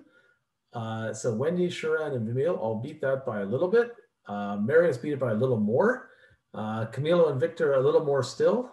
And then Yunli and Kimia. And then things got very close. Uh, Mike uh, was just ahead of Yunli and Kimia, and then there's a tie for first place, Edwin and, and Gil. So so well done all. All of these solutions are uh, excellent. Um, it's as I said, I think the reference solution is quite good. So I've never actually seen this many people beat it. Um, and Edwin and Gil, I'll be sending you uh, uh, a, a, gift card in, in the email. Um, and everyone else will uh, will also get credit on the assignment for doing so well. So congratulations. Um, okay, let's move on to the last couple of topics. So one is a different kind of FPGA, something called a, a DPGA or time domain multiplexed FPGA. And uh, there have been a few of these done over the years. Um, the one that went the furthest was by a company called Tabula. Um, so Tabula was a, uh, a startup that was around for quite a long time, developed a lot of technology, um, raised actually over $200 million to, to challenge Altera and Xilinx in the FPGA space ultimately wasn't able to do it because it's really hard to take on the established competitors. Um, need to build an entire CAD system, an IP library, and a chip. So essentially, the FPGA industry is one where the incumbents are very entrenched because it is you have to build so much technology to take them on. Um, on top of that, there may be some technical issues that you guys can weigh in on as we get through uh, what Tabula did. Um, okay, so as I said, the DPGA is, a, is effectively a time domain multiplexed FPGA. Uh, so the motivation is that hardware is underutilized in an FPGA because it only does one thing per cycle. So computation goes through a lot in a fraction of a cycle, right? So if you think of, I've got a, a lookup table and before that I've got another lookup table and so on, and a lookup table and eventually I'm registered. Um, the idea of a time domain multiplexed FPGA is, well, this lookup table is really only doing work during part of the cycle when basically new data arrived and it had to produce new outputs. Maybe we could time domain multiplex our fabric and make it do work more of the time, several times per cycle. Um, so that's one motivation is the idea of maybe we can get efficiency. The other reason or motivation for these dynamically programmable FPGAs is um, your circuit is, if your circuit is too big, FPGAs have an undesirable behavior that they just can't fit it. Uh, in a processor, if your problem gets more and more complicated, your program runs slower and slower. usually don't run out of memory, could happen, but usually you don't. In an FPGA, if your problem gets bigger and bigger, um, depending on how you structure it, if you structured it in a parallel way, the FPGA may just not be able to fit it, uh, and that's undesirable. So the solution of these time-domain multiplexed FPGA is to reconfigure really fast, several times per user clock. So these registers that I've just shown in this design, they would be connected to what they call the user clock. Okay, that's what you as a designer actually specified. Um, but they're going to make another clock uh, that's hidden from the designer, and they're actually going to time domain multiplex the hardware so that it does multiple things during one clock cycle that you asked for. So it's a bit like a processor. So ideally, it's going to keep circuitry busy uh, a higher percent of this user cycle, um, user clock cycle, uh, and it's also going to increase capacity. You're going to be able to take, take bigger designs and get them into your chip than you would have been able to with a traditional FPGA. Okay, so how do they do that? So they as I said, they divide a user clock into multiple, uh, what Tabula calls microcycles. So um, here's my real clock that the end user specified. And in this case, I'm using a micro clock that is three times as fast, um, which Tabula calls a context. So they're going to reconfigure every block and every routing box three times in every user clock period. So every single microcycle, uh, they can have a lookup table, do something different. They can have a routing box, make a different decision about which signal gets copied to its output. Uh, so how are they going to do that? So in a processor, you'd broadcast an instruction, right? You have a program counter and you broadcast that to everything that needs to see the program counter. Uh, but a, uh, an instruction in an FPGA is enormous. So we talked about this earlier in the course, but it's depends how big the FPGA is, but even for a medium-sized FPGA, we're talking like 50 million bits uh, to encode an entire configuration. You know, all the multiplexers, all the lookup truth tables, etc. Um, and Tabula wants these uh, microcycles to be very fast. So they were targeting one point, well, they did achieve 1.6 gigahertz for their microcycle clock frequency. So we can't broadcast 50 million bits uh, at 1.6 gigahertz. So what they do instead is they broadcast a pointer to the configuration memory. So an FPGA has one configuration memory. A lookup table is a truth table. Routing muxes have one set of SRAMs saying, you know, which input makes it to the output. Same thing for the DSP block settings and so on. So uh, what Tabula did is they said, no, we're not going to have one set of configuration memory, right? Like an FPGA would have. So we've got a lookup table and inside of it is a truth table. We're going to have uh, a bunch. Okay, so we're going to replicate all that configuration uh, n context times. And in the chip that they designed, n context was eight. So they made eight copies of all the configuration memory. And they uh, broadcast a pointer, which would say which one of these is active. Okay, so maybe this one is active, and that's currently the truth table of the lookup table. And the next micro clock cycle, maybe this one becomes active, and that is the truth table of the lookup table. Um, so there's a limitation in this because they're just broadcasting a pointer and they only built storage for eight configurations. They can never use more than n context can never be more than eight, right? They only have eight distinct configurations on chip. So they could decide not to use them all. So they can make n contexts less than eight, but they can never make it more than eight because then they'd have a pointer to something that doesn't actually exist on chip. Okay. So this is just a picture of the basic idea. Um, a traditional FPGA, you would just have, you know, a few SRAM bits that are controlling this routing mux, uh, and you would have one truth table that goes into your lookup table. In a, uh, a Tabula-like device, a multi-context FPGA or a time-domain multiplexed FPGA, uh, I'm showing here, let's see, one, two, this is a four configuration uh, routing mux. So instead of having one set of SRAM cells controlling it, it's actually got four different copies of them. Okay, let me highlight those in different colors, right? So that's the first copy, that's the second copy, that's the third copy, and that's the fourth copy. We broadcast this context ID, it gets decoded, and it selects which one of these we're going to use. Um, and same idea for the lookup table. So it's like all of our configuration, if we wanted to support four contexts, we would replicate four times and we would have a few of these decoders in the chip, right? Uh, we're probably not going to have just one. We'll probably have a decoder here and there. And, uh, and we're going to broadcast this context ID and then the decoding will decide what we're, uh, which configuration we're using uh, throughout the chip. Does it all make sense to people? Any questions so far? Trying to assess whether there's digital confusion, uh, which is hard. so I'm to take that as hopefully it's uh, clear. Okay, so how do you use this? That's what the hardware can do. Um, this diagram comes from uh, a paper by Steve Trimberger on this kind of FPGA. And it's showing how can we fit more logic into such a, a, a DPGA. So in a traditional FPGA, here's, here's a five lookup tables that I want to implement in a certain connectivity pattern. So in a traditional FPGA, you just say, I need five lookup tables, right? They have these names A through E and wire their inputs and outputs up as you've shown. So that's what an FPGA would do. In a DPGA or a time domain multiplexed FPGA like this, what we can do is we can say, well, A and B don't depend on any of the other LUTs. So we can compute them first.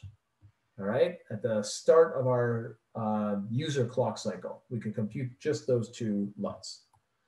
And in the next micro clock cycle, we now have everything we need to compute C. Okay, so we can compute that in the next micro clock cycle. So that would be two. This would have been cycle one. And after we've computed C, we actually have everything we need for D and E. All of their inputs are ready. So in cycle three, we can compute uh, D and E. Um, okay, so we've actually now, with only two physical LUTs, uh, we can do a five LUT circuit. Okay, so we have saved some lookup tables. Um, we didn't do that in three separate steps, each of which had its own micro clock cycle. Because basically, we didn't actually build five LUTs on the on the FPGA. We just basically took two physical LUTs and we programmed uh, multiple configurations. Maybe we programmed, uh, let's see, maybe we programmed our first physical LUT over here with these three configurations. Okay, so all, the, all of those went into its, uh, in, into its three contexts. Uh, and then we built a second physical LUT over here. And into that, we programmed these two configurations. Okay. Um, so we've, we're not doing everything spatially anymore. We're doing a mix of spatial and uh, temporal. Okay, this is somewhere between an FPGA and a processor now. This is making sense? If you've got any questions, just jump in. Uh, let's see, can it dynamically choose which context to use or is it predetermined at compile? If predetermined, why does it need to broadcast instead of keeping a more local counter? Yeah, it's a good question. Um, so in the academic works on this, they basically say, well, we could do it either way. And they come up with uses for what if I broadcast uh, versus what if I just have a counter and I walk through them. I believe the Tabula architecture, from what I've read about it, just had a counter. Um, and you could say how, how high the counter should count before it rolls over. So uh, Tabula can do eight contexts, but if this was my whole design, eight contexts aren't useful. I only actually need three to get down to two LUTs. So you could program the counter to count to three and then count roll over back down to zero. Uh, because there's no purpose in counting to eight because the next several cycles you won't do anything useful.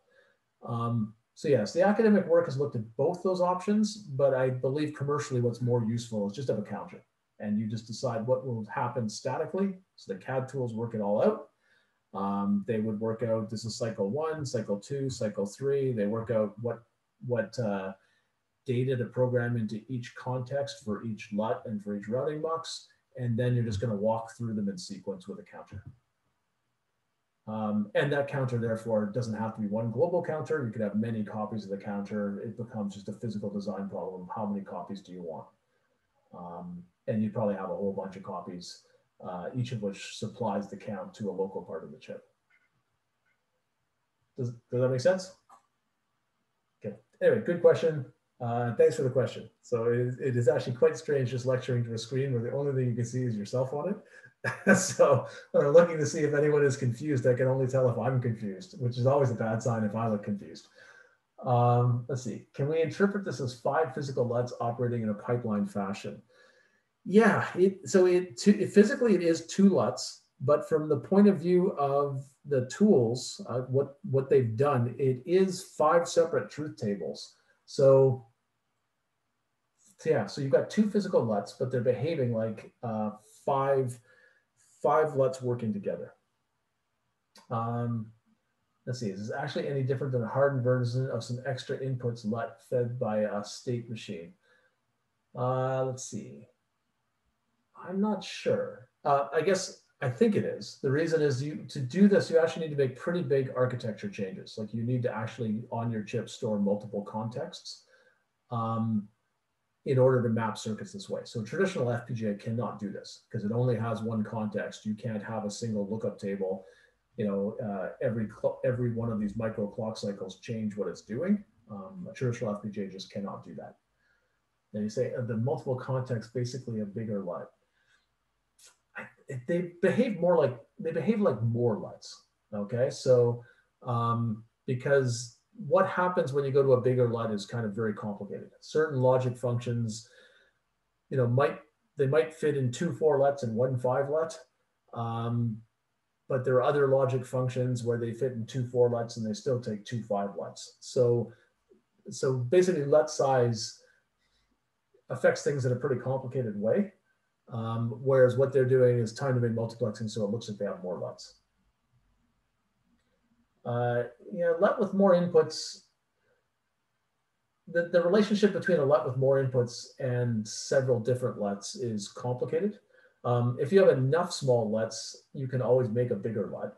Okay, so I can combine uh, four four LUTs, for example.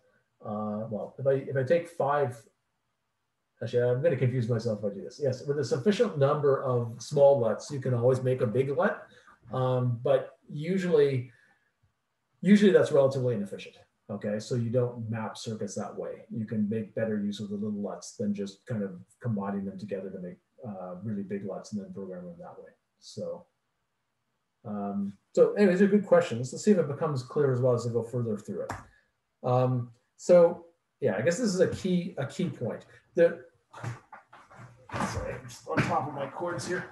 Um, the other thing that isn't apparent in this diagram, though, is when I put this on two physical, uh, when I put this on two physical LUTs like this, yeah, so we can get a better color. Um, okay, so I've got two physical LUTs. Those LUTs have to have multiple contexts.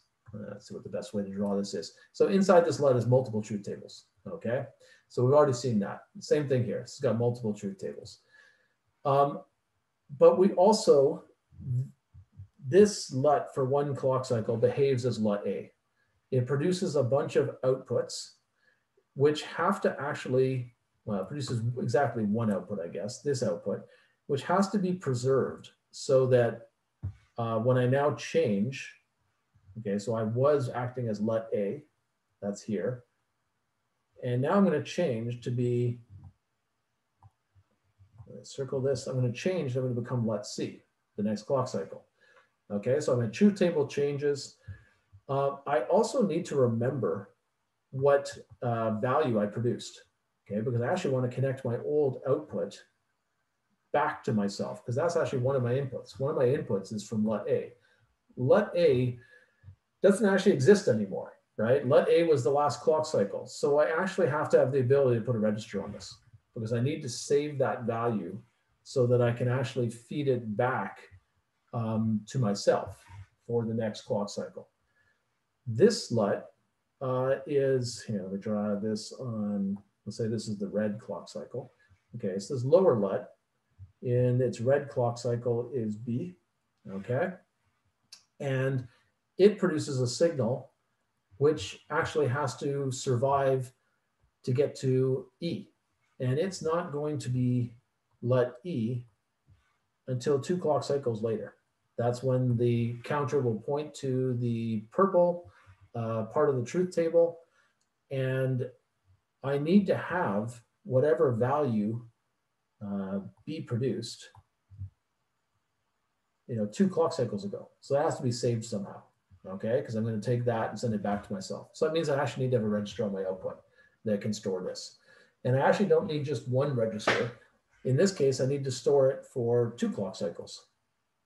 Okay, so even though the LUT didn't do anything useful here, it still needs to save its output in another register. Um, so I've got to, I got to do this somehow, right? I have to save data uh, in essentially in time so that I can feed that data into my physical ones. So I need extra registers in my interconnect um, to save values that I'm going to need in a future one of these micro clock cycles. Uh, so that's pretty subtle, but hopefully that's understandable. So it's not enough just to duplicate all the contexts, like duplicate the configuration memory. Uh, I also need to be able to save state. Uh, so I actually need to have registers in my routing now. Uh, let me show you this and then you tell me if it makes sense. So the micro paper does a nice job of showing this. Um, what Tabula does is first, they're the ones who actually came up with the idea of put a pulse latch in every single routing driver. They didn't ever, to my knowledge, publish that. Um, well, it may be actually in this micro paper. When they first did it, they didn't publish it. So I think the micro paper says that they have it.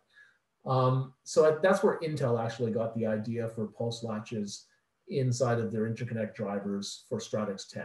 So Intel used it to make a really register-rich architecture. For Tabula, it was even more crucial. Um, they basically have a, an array of physical lookup tables and the routing between them. So that's what this XY dimension is. It's just a, a bunch of lookup tables and routing, okay? Just like you're used to. And a placement and routing problem in a conventional FPGA would just choose where do I put every one of my lookup tables so that I can minimize the conduct, you know, the amount of wiring I need between them.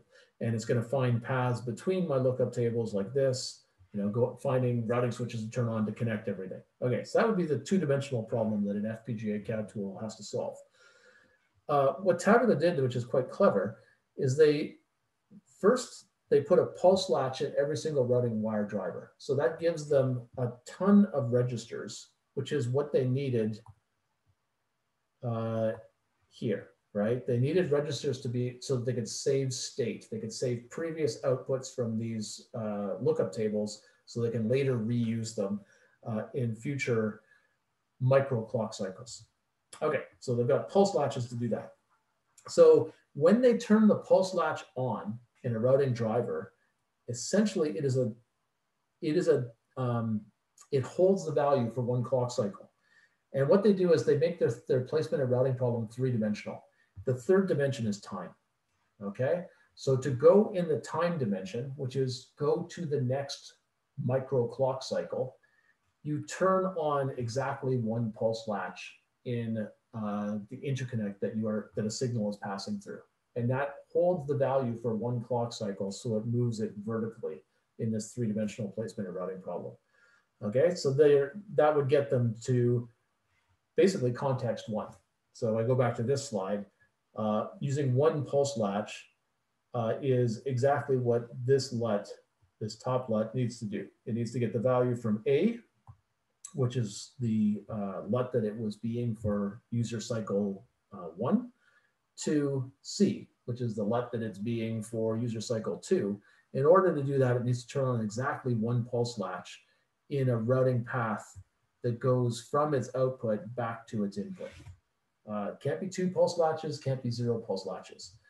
And that sounds really complicated, um, but Tabula came up with this clever idea of that is the same as a three-dimensional placement and routing problem where the third dimension is time and turning a pulse latch on moves you one unit up in the time dimension. Uh, and then they solve that three-dimensional placement and routing problem to decide basically which context within which LUT uh, completes each function. So it's choosing in both space and time who computes a function and which pulse latches to turn on and which regular routing switches to turn on to get all the signals to the right spot. Um, hopefully that all makes sense. It's uh, it's quite clever. So I was pretty impressed when they did this. Okay, so what are the costs and gains? So costs. Um, one set of configuration memory is typically about 25% of the core area of an FPGA. So what I mean by core area is not in, not I/O. Okay, everything except the I/O, the DSP, the RAM, the routing, the logic. Tabula is not building one set of configuration memory anymore. They're building eight sets to get their eight contexts. So that's going to actually increase their area a lot. That's 175% area increase um, for like their LUT plus routing, for example. Okay, so the benefit is that they could keep all the hardware doing useful work through the whole clock cycle. Okay, so they use this higher microcycle rate uh, and they store intermediate state.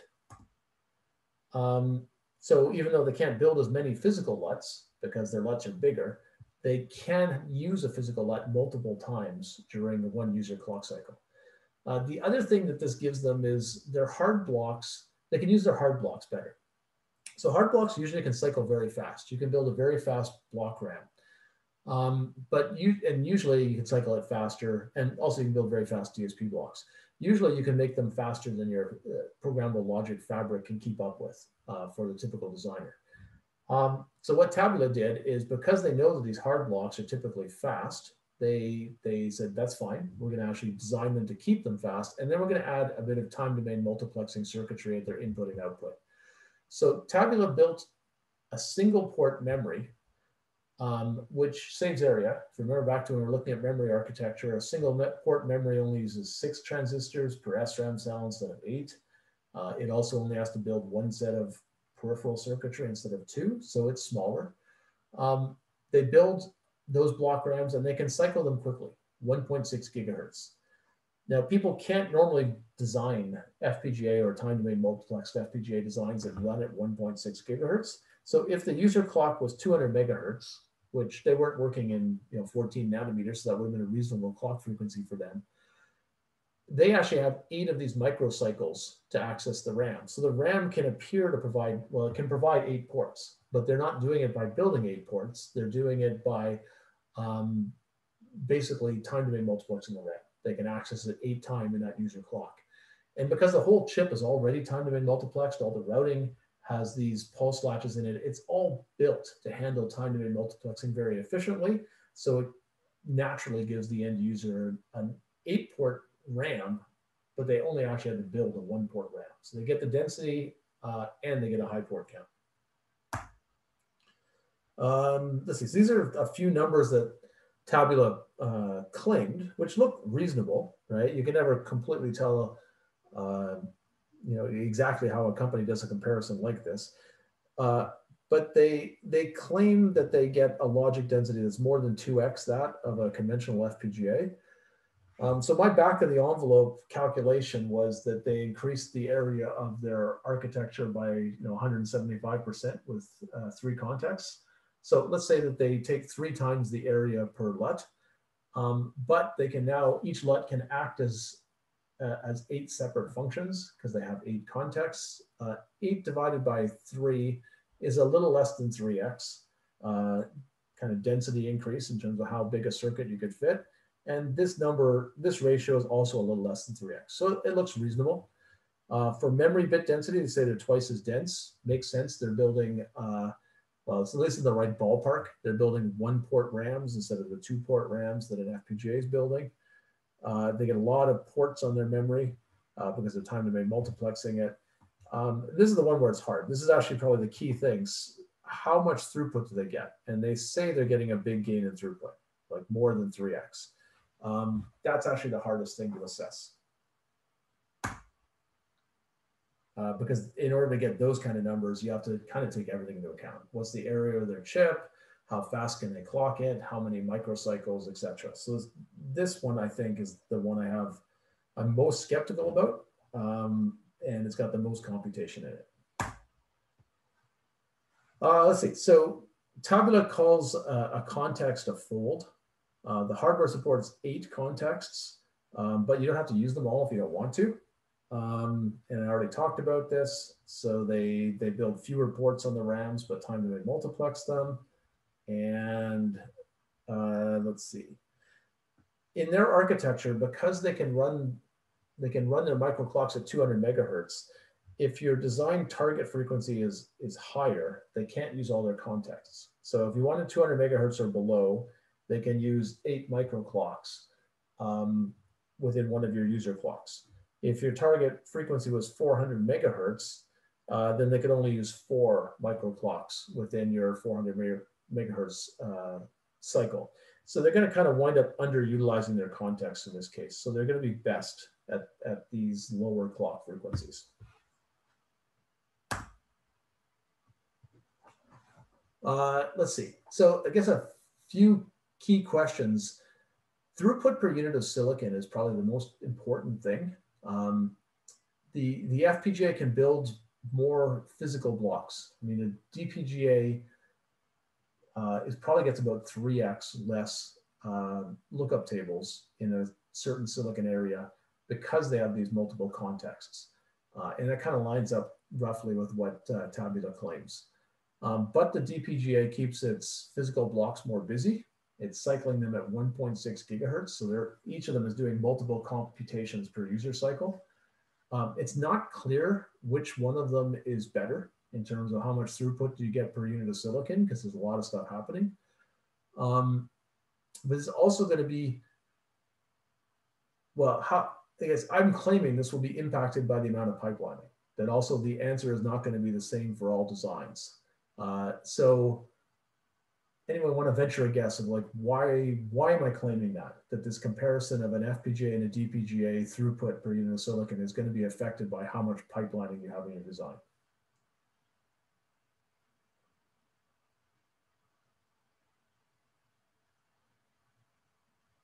So is more pipelining good for a DPGA or is more pipelining bad for a DPGA in terms of comparing it to an FPGA?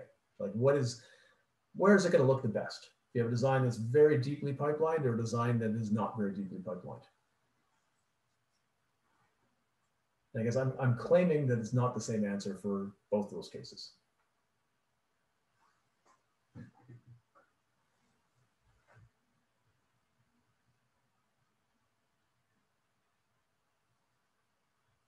Yeah, so Camille, I think you're saying that deep pipelining is better for a normal FPGA. Yeah, and I think Giller's saying the same thing, that in a DPGA, more pipelining is going to limit how many folds they can use because the clock frequency is higher. Is that a fair summary of your comments? So I think you both believe that the FPGA likes deeper pipelining and the DPGA doesn't gain as much from it. Okay, yeah, and, and I completely agree. So basically the idea of the DPGA is, uh, yeah, I've got a bunch of logic in series. It's not just going to be a linear chain, right? There'll be other registers coming in here and so on, but that I've got, I've got a bunch of logic and then eventually I get registered so that I could, I could have one physical LUT do, do multiple duty uh, on this chain of logic. Now, if I'm a really crack FPGA designer though, uh, and I say, well, I don't like that design very much. I'm going to insert some more registers. I'm going to put a register there. Uh, actually, I won't put it there because that register, I need two registers for. Okay, I shouldn't have done that. Okay, now I am going to put that register there. Okay, so I'll put a register there. I'm going to put a register there. I'm going to put another register here. Um, I'll put another register here. Okay, as I pipeline this really deeply, most of my LUTs are actually now busy for much or maybe even all of my uh, clock cycle. If I actually manage to put a register after every single LUT, then every LUT is doing useful work for the whole clock cycle. And the trend has been for people to pipeline more deeply. If you look at how FPGAs are evolving, you know, there's been a gradual trend to put more and more registers in. Uh, so Intel, when they went to fracturable LUTs, they put more registers in. Uh, then they went all the way to putting registers into the routing. Uh, Xilinx um, has now put registers on not just their outputs, but also their inputs. So the trend is clearly to have more registers than an FPGA. And that's a challenge for a DPGA because you need these chains of LUTs with no registers in between um, to try to time domain multiplex. Um, so yeah, I think Intel, for example, by taking this pulse latch idea, put a pulse latch inside every routing architecture. I think that's a really clever idea that Tabula have, but I think had, but I think that the way Intel used it to say, let's use that to enable very deep pipelining, not to enable time domain multiplexing, is actually probably the better way to use that idea. Um, any thoughts on throughput per watt? Okay, so throughput per unit of silicon is, is important nowadays throughput per watt is probably at least as important, probably more important. How, what do you think this DPGA is going to do for, for power efficiency? Is it going to be good or going to be bad?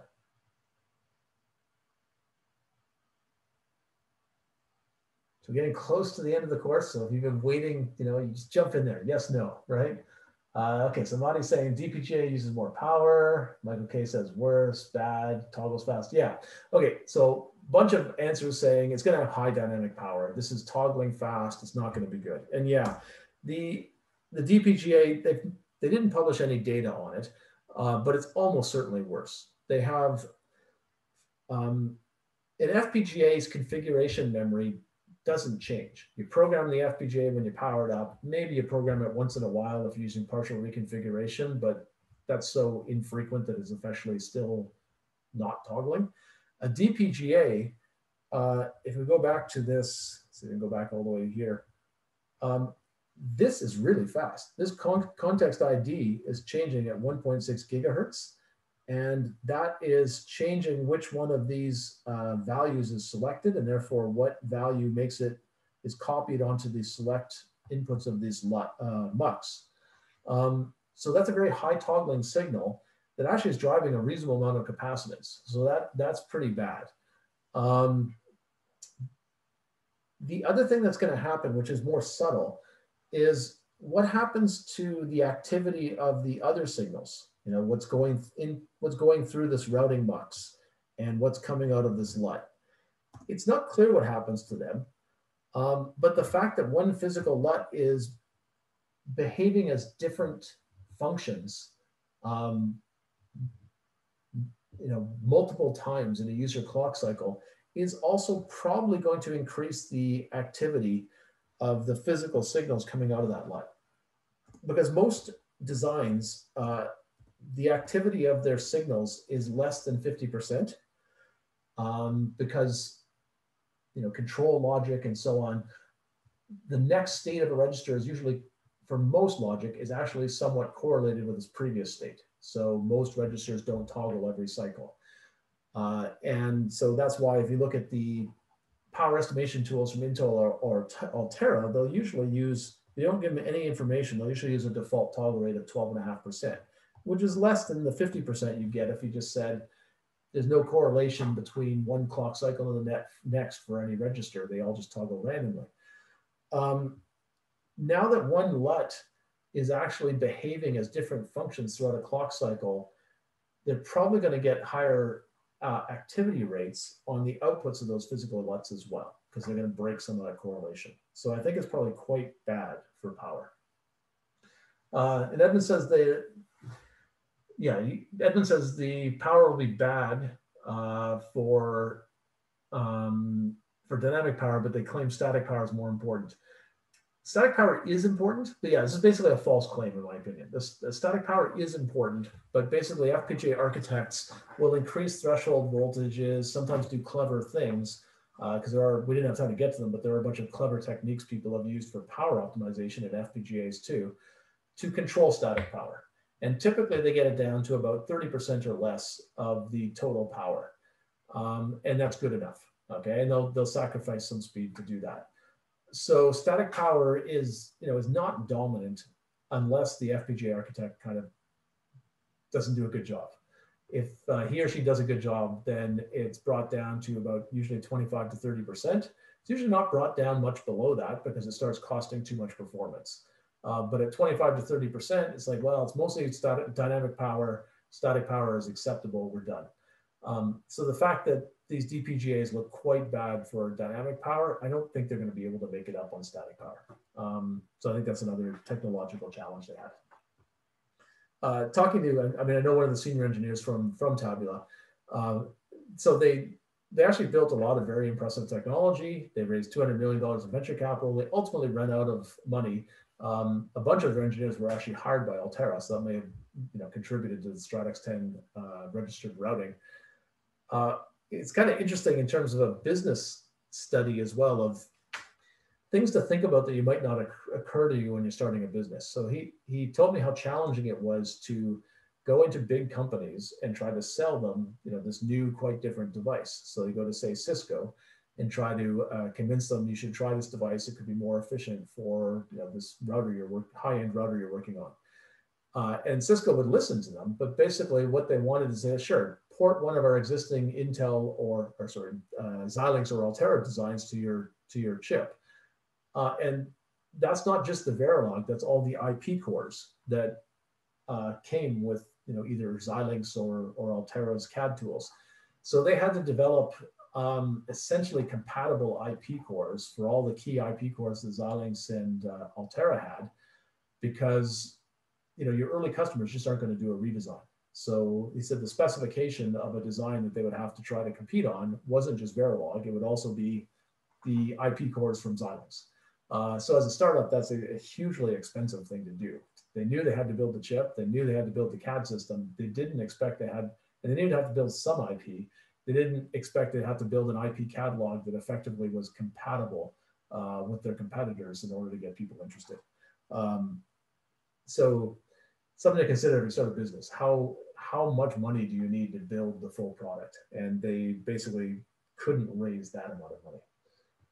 Uh, let's see, were the compilation times really high?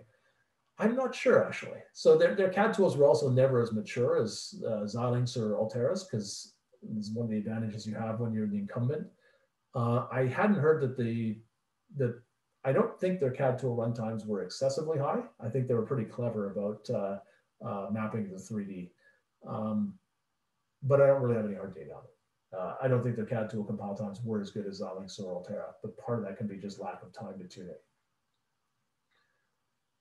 Uh, let's see, you think the one time a DPGA would win is if you have sequential tasks, data dependencies. Uh, yeah, that's true. I mean, if you have if you have a lot of sequential logic, then it, it it's a better fit. If it's too sequential, then it starts being a good fit to a processor. So you probably have to target more than that. Something that a DPGA would be quite good at is probably logic emulation for an ASIC. Okay, so you're really trying to build an ASIC. You want to, it's common practice to take a high-end ASIC and actually emulate it on FPGAs first. Generally, the ASIC is so big it won't fit on any FPGA. Uh, so they have to split it across multiple chips, which is a pain because they don't have enough IOs. So they run into all sorts of partitioning problems.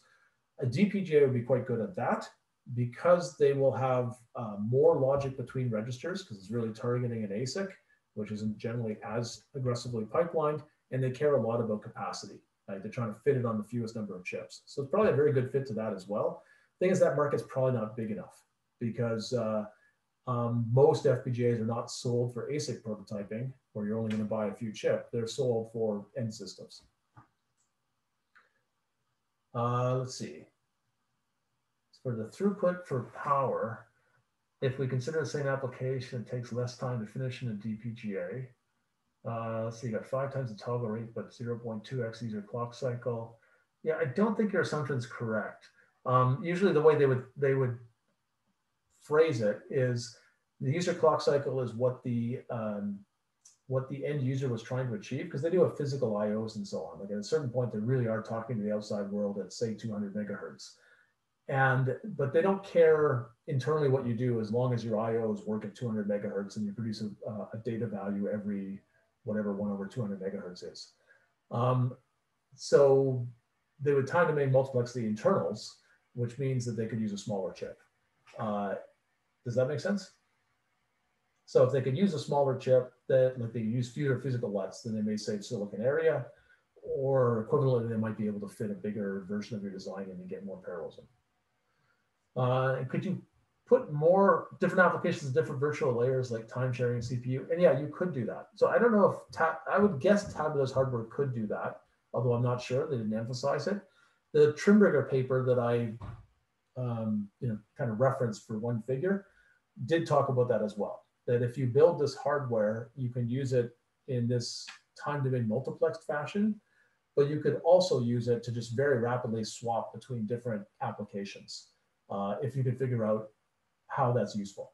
You know, there's nothing that basically the change since you're just broadcasting a pointer of what what configuration are you using to change that from I'm going to change every single microcycle to just I'm going to change when I feel like it is almost no change to the hardware. Um, so it could do that. It, it's unclear if there's a good use for that though or not. So um, yeah, so maybe that's useful in the cloud. Uh, I'm not sure. So Okay, so good questions. And this also is, uh, as I said, for remote, remote uh, teaching, it's great to know people are out there. so, uh, so we've got one minute left. I got one more topic. Uh, because we'll be over time, feel free to drop off whenever you like. And it's recorded, so you can always come back and watch later if you like to. So the last thing I was going to talk about is basically uh, two things. Configuration cells uh, well, I guess it's configuration cells and robustness. So you have to worry about configuration cells getting upset. And you'll see that in some FPGA applications is important. And it kind of leads into, um, into a few different technologies. One of the ways you can deal with that is not use SRAM. This is also a very brief overview of non-SRAM FPGAs. Um, okay, so SRAM FPGAs are dominant. Uh, and so uh, why do you think that is? You can type in if you have any ideas, why do SRAM FPGAs, what's good about them? And is there anything bad about them? So I'll give you a minute to just type that in. I could do another breakout room, but I think it's just more overtime, so I'm not going to do it.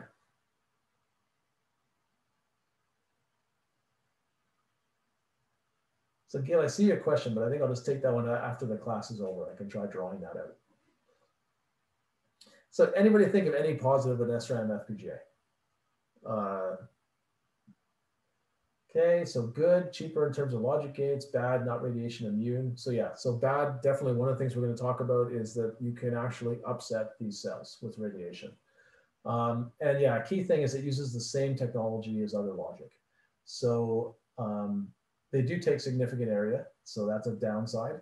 Yes, these are all really good answers. Uh, okay, so the number one reason is that because they're standard CMOS, you can use the latest process. So that's the really big advantage. Um, I mean, there are other ones you can reprogram them infinitely. So you can, I didn't write that down, but basically you can use the same chip and program it many times. Um, negatives, fairly large area. Usually it's about 25% of the die size just for the configuration SRAM. Um, power. So is power an issue or not? Um, what do you think? Does anybody think that S, S, uh, SRAM configuration is bad for power, good for power, or just you don't care?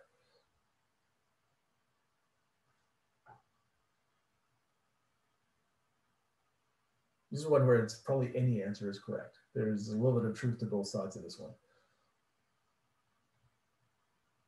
Okay, so maybe. So we're going to go with that. so uh, it's not a huge problem. Sometimes people think it's a big problem, but because uh, because the S the configuration RAM doesn't switch, you've got basically no dynamic power. And because it doesn't switch, you also can make it as slow as you want, right? Usually what stops you from using really high threshold transistors is, um, is things get too slow.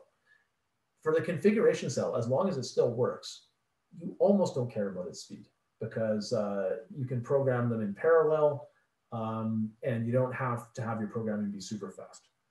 Okay. Um, you know, that said, you can't make VT so high. If you make VT infinitely high, it just doesn't work anymore. So it's not true in the latest process technologies. The configuration SRAM does consume some static power, so it's not completely negligible, but it's not the biggest problem. Uh, it's volatile, okay, so that's a downside, but it's not a big problem. Um, volatile meaning it doesn't remember its state when you turn the power off. Uh, what you do for that is most FPGAs have a flash chip on the same board as them. When you turn the board on, the FPGA automatically reads its configuration from the flash. So there's some cost for the extra flash, but it's not huge because flash is relatively cheap. There's some time before the FPGA, so maybe 100 milliseconds before the FPGA is actually read in its configuration. And during that 100 milliseconds, it's not able to do anything useful. In most systems, that's not a big problem uh, because the whole system's being powered up. It is a problem in a few systems. So in some systems, you need an FPGA to come awake right away. For example, modern boards have circuit boards have many different power supplies on them, like lots of different voltages for lots of different chips, and something needs to sequence that. And often it's a small FPGA. That small FPGA that is actually going to sequence the power supply, the power up of the board has to wake up really fast. So it either has to be a non-volatile FPGA or what it, what it is for a lot of FPGAs nowadays is a conventional SRAM FPGA with an embedded flash, okay? So you can also do that. And that is, that can be a, an SRAM FPGA. This is, uh, for example, Altera's uh, Max 2 series and Max 10 series do this. They're small FPGAs, okay?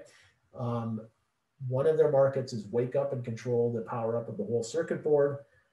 They do that by having embedded flash and a really wide bus. So they have like a 4,000 bit bus to very rapidly copy the configuration data from the flash into the SRAM FPGA when it wakes up. Um, so it behaves like an instant on FPGA, even though it uses SRAM as its configuration. For bigger FPGAs like Versal and Stratix 10, that's not their target market. They don't worry about it. They use an external flash because it's cheaper. Okay, soft errors. That's the main thing I want to talk about. Um, so yeah, software errors, you know, basically are, are non-permanent errors. So usually caused by radiation. That's the main source of soft errors in uh, FPGAs. So your your truth table of your lookup table is supposed to have a certain value, right? It's supposed to be, uh, I don't know, an AND gate. So it's supposed to be one and a bunch of zeros. And a radiation event happens and it basically changes to all zeros. So no longer an AND gate, it's just a zero gate. So that's a problem. And until you do something, uh, like power cycle your system and reconfigure the FPGA, uh, your FPGA is doing the wrong thing, right? It's no longer doing the logic function you wanted. So that can be a big problem in some applications. And this is a problem that's getting worse with scaling, okay? Um, the reason it's getting worse with scaling is radiation induced, uh, let's see if I have this on the next, uh, let's see, yeah. Radiation induced errors are basically what happens is I've got a transistor. Okay, so this is N plus, N plus, this is P minus, and here's my gate.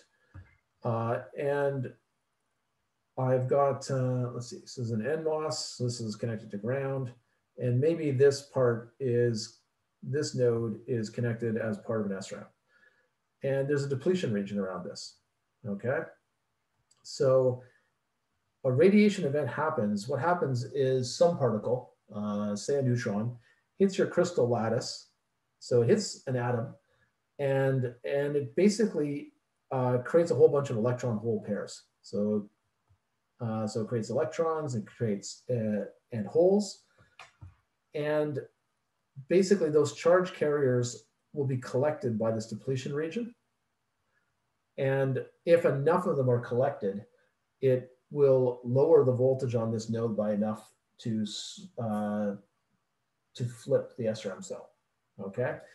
Um, that problem's getting worse with scaling because what resists this, this uh, node uh, flipping is basically the amount of charge that's already on it. And as they get smaller, there's less charge on them. So it's easier and easier for a radiation event to produce enough electron hole pairs uh, to flip an SRAM cell. I don't think I have a really good picture of this. Hopefully I have some picture later. Uh, okay, so how big a deal is this? So if you want to find out information on soft errors in SRAM-based FPGAs, so it's a bigger deal for FPGAs than it is for most chips because in an FPGA, this SRAM is actually controlling what the chip does. So you're not just upsetting some register, you're actually upsetting like a logic gate. The logic gate is suddenly changing its function. So that's a bigger problem. Also, registers tend to be relative, they're larger. Um, registers are usually larger than SRAM cells, so they're not as uh, easy to upset. So this is a bigger deal for FPGAs than it is for ASICs. If you want to get data on how big a deal, it's actually best to go to a company that makes uh, non-volatile FPGAs. So Microsemi um, makes flash-based FPGAs, and that's uh, the paper that is optional for next week is on one of their flash-based FPGAs. So you want to get data on how big a deal are soft errors, you don't go to one of the, uh, you don't go to Intel or Xilinx, you go to Microsemi because Microsemi is very happy to tell you the data. So they took a 65 nanometer SRAM FPGA, so not theirs, one of their competitors. Uh, and this actually will be a cyclone device. Um, so it's 120,000 logic elements.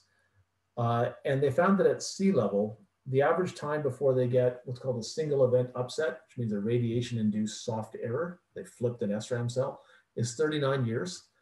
Um, the Earth's atmosphere is our friend. Okay, so if we didn't have the atmosphere and uh, and the Earth's magnetic field screening out radiation, we would all be dead fairly soon. Um, so as you move up through the atmosphere, so at 5,000 feet, which is Denver, okay, so that's actually still not that high. Uh, this actually drops from 39 years to 12 years. If you go into a, an airplane, uh, it drops a lot more. And by the time you're in a satellite, it's an hour. Okay. And the difference is you're getting less and less shielding. There's less atmosphere protecting you. Uh, it means the long, wrong logic function until you reset. So again, it's worse than, than a soft error in a microprocessor or something where you might just corrupt a data register. Uh, and this number already worries like high reliability customers. So uh, when I was at Altera, one of the customers I would visit was Cisco. And Cisco, the Cisco division I was visiting this one time was a high reliability part of Cisco. They're building core routers that go into, um, you know, like Bell and Rogers, those kind of places. Like, uh, and those core routers have incredibly strong uptime guarantees. Uh, like they can only go down for a few seconds a year because it's uh, um, it's very disruptive, right? Like that's like phone calls getting dropped or internet connections for entire businesses getting dropped.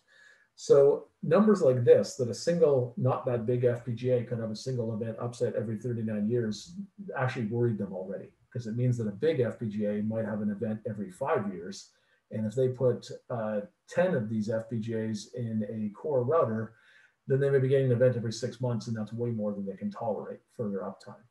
Um, so there are, I mean, there are other people who don't care, right? But uh, but for these high reliability customers, it's already a problem. Uh, yeah, Michael, you're asking about radiation shielding and magnetic shielding. So yeah, in space you can put shielding on this, uh, and they do put some shielding in to protect the chips, uh, but you can't put shielding that's anything close to what our atmosphere is. So you need your chips to be much more tolerant of radiation. Um, yeah, because even with a certain amount of shielding, it's basically its density. Like the way the atmosphere protects us is that the know, the uh, you know the protons, the neutrons that are being shed by the sun, the cosmic uh, radiation, cosmic rays, basically have a low probability of making it through the atmosphere, and it's just because there's so many uh, atoms and molecules between us and space, and you cannot duplicate that on a spaceship, right? Like you, if you if you put a certain number of feet of lead shielding, then you would, but now you need you need a beyond a rocket to get it into, into orbit. So they have to make uh, trade-offs. Um, and redundancy is an option though. So that's a good question. Okay, so what can we do? Um, and yeah, for really high reliability customers, one of the things they do is redundancy. So they have to make it, you know, a single chip failure won't kill their system. Okay, so what can you do in an FPGA though to have better soft error performance? So the first thing you can do is try to add capacitance to the storage nodes. So this is an SRAM cell. And the, in an SRAM cell that is for, normally for an SRAM cell, you don't actually want um, very much capacitance in the cell because it slows it down and it makes it take more power when you read or write it. But for these configuration SRAM cells, we don't write them very often and we don't care how fast they are. So you actually try to get as much capacitance as you can on the storage node. Um, so yeah, they'll try to add as much metal capacitance as possible to uh, to these A and B parts, uh, and trying basically making the cell harder to upset. Uh, and sometimes FPGA vendors will actually make the SRAM cell bigger than they have to, even though that's uh, painful, in order to get more capacitance on these nodes and kind of meet what they see as a, a, a minimum acceptable specification.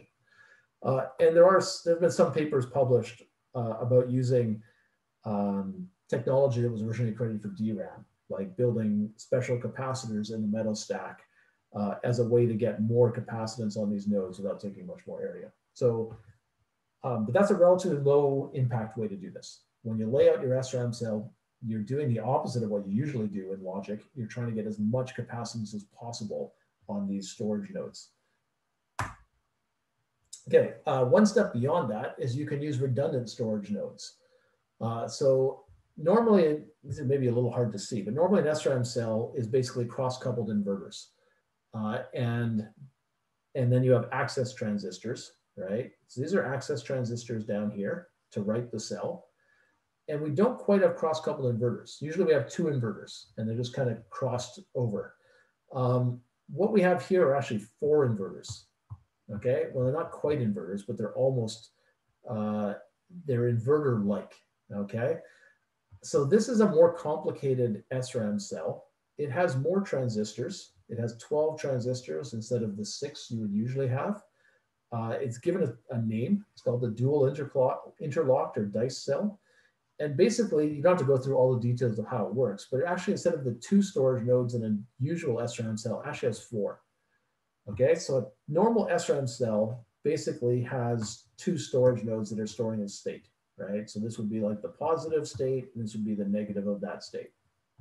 Um, and a soft error occurs when one of these storage nodes basically collects so many charge carriers that it flips from, you know, from zero to one, for example.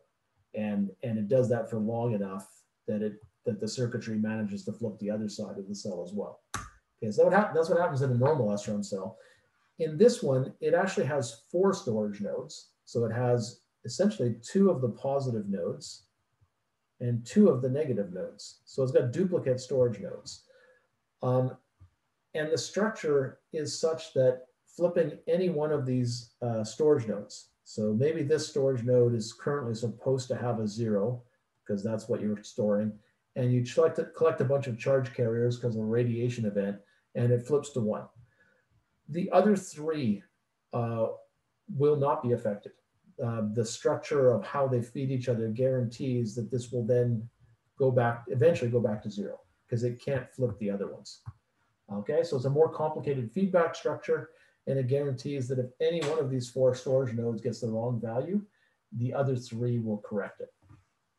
Um, whereas in a conventional SRAM cell, you only have two storage nodes. So if one of them is wrong, it's kind of anybody's guess of what happens, right? They, uh, whether that wrong one corrupts the correct one or whether the correct one manages to fix the wrong one. Um, okay, so it increases the area of your configuration RAM by about twice.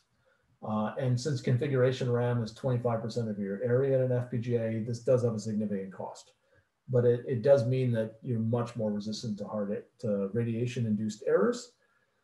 Um, and Xilinx actually has some special chips that do this. It's not in their mainstream FPGAs, um, but they have uh, some some that are called, I think they're called Q Pro, uh, and they have a Virtex 5 uh, Q Pro device um, where they actually changed all of the configuration cells to this more complicated and more expensive structure, and it's intended for space applications. So, and it's very expensive. Okay, so that is not a state-of-the-art chip because it's several generations behind. And I visited a satellite manufacturer again when I was at Altera, um, and and they were saying that they were paying fifty thousand dollars a chip for this uh, device. So it uh, but they needed it, right? So uh, they will pay it when they have to. Okay, so another thing you can do is just get rid of the SRAM entirely. So you can use a flash cell. This is the optional paper for this week. So if you want to know more about this, you can go read that paper.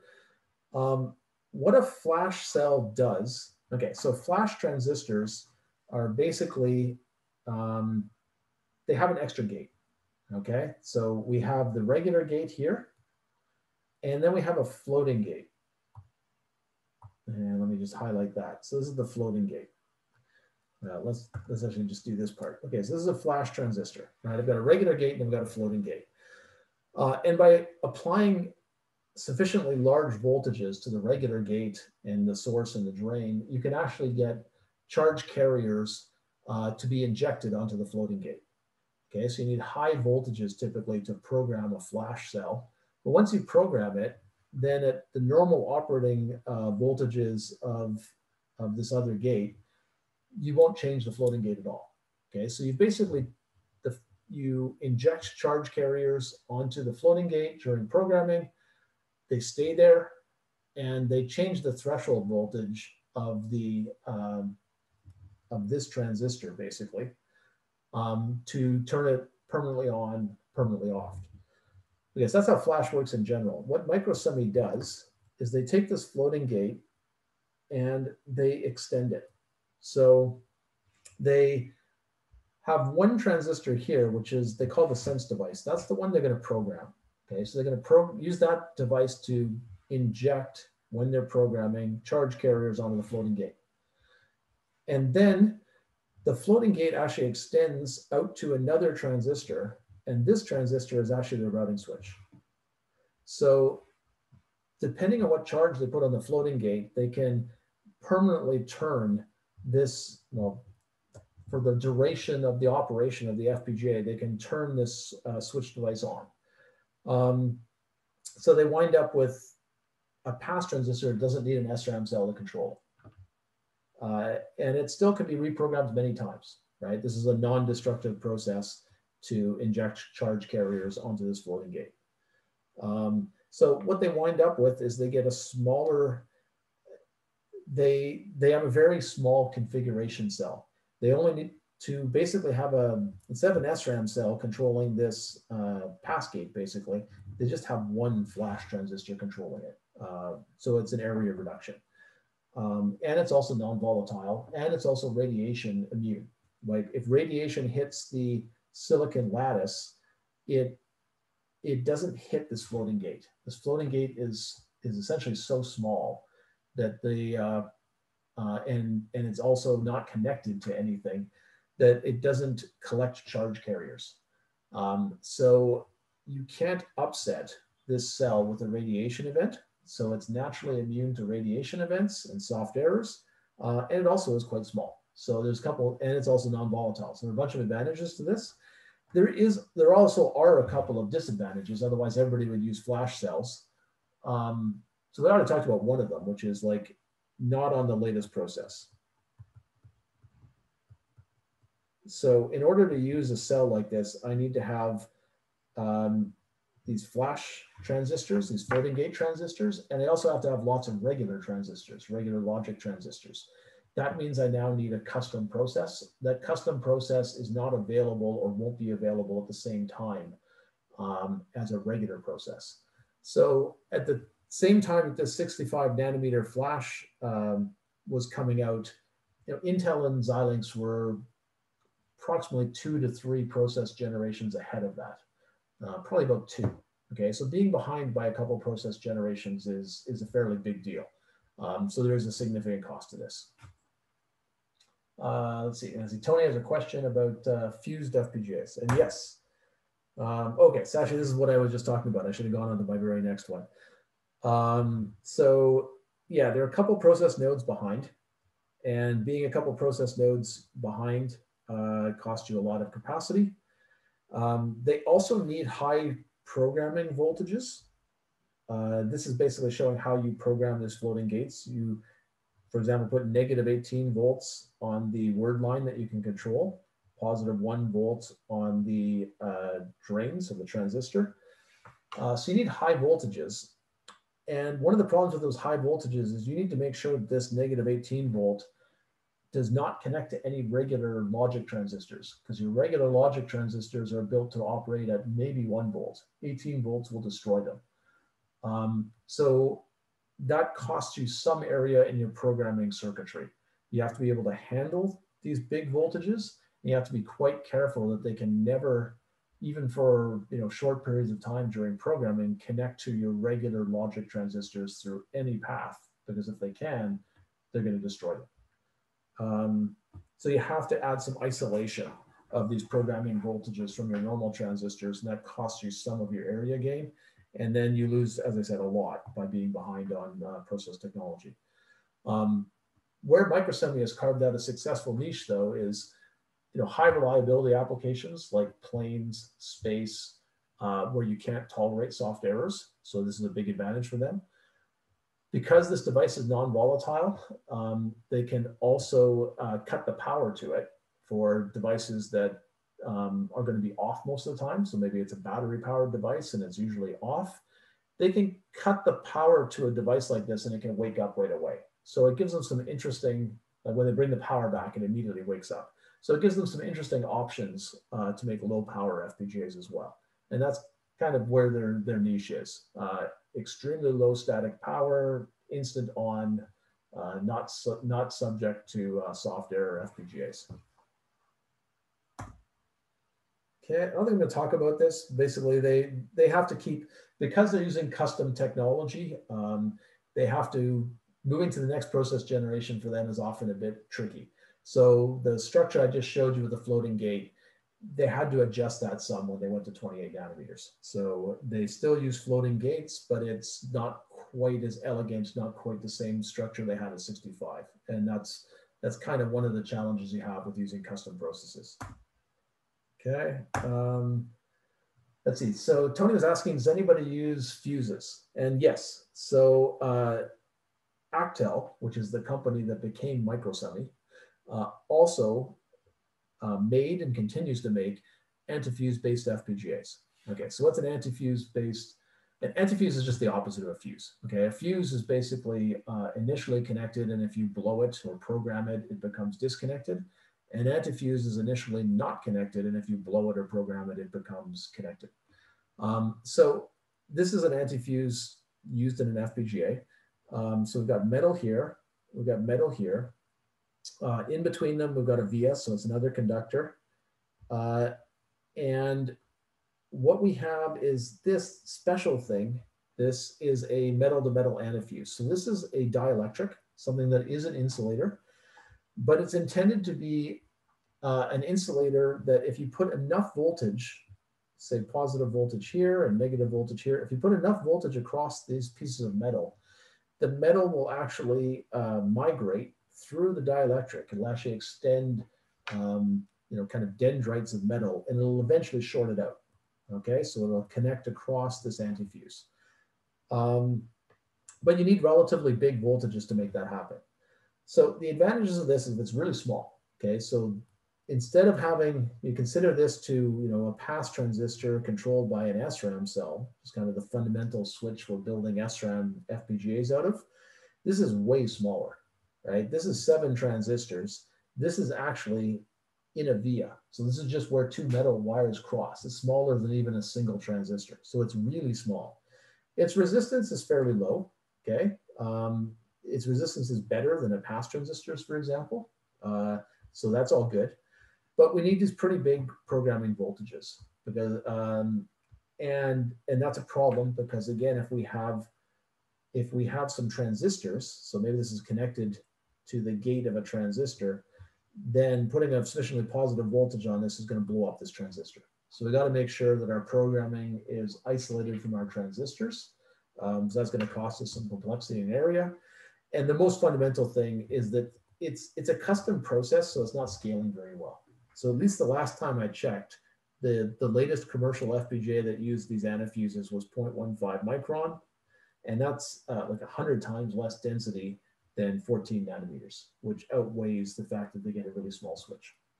So using custom processes is tough.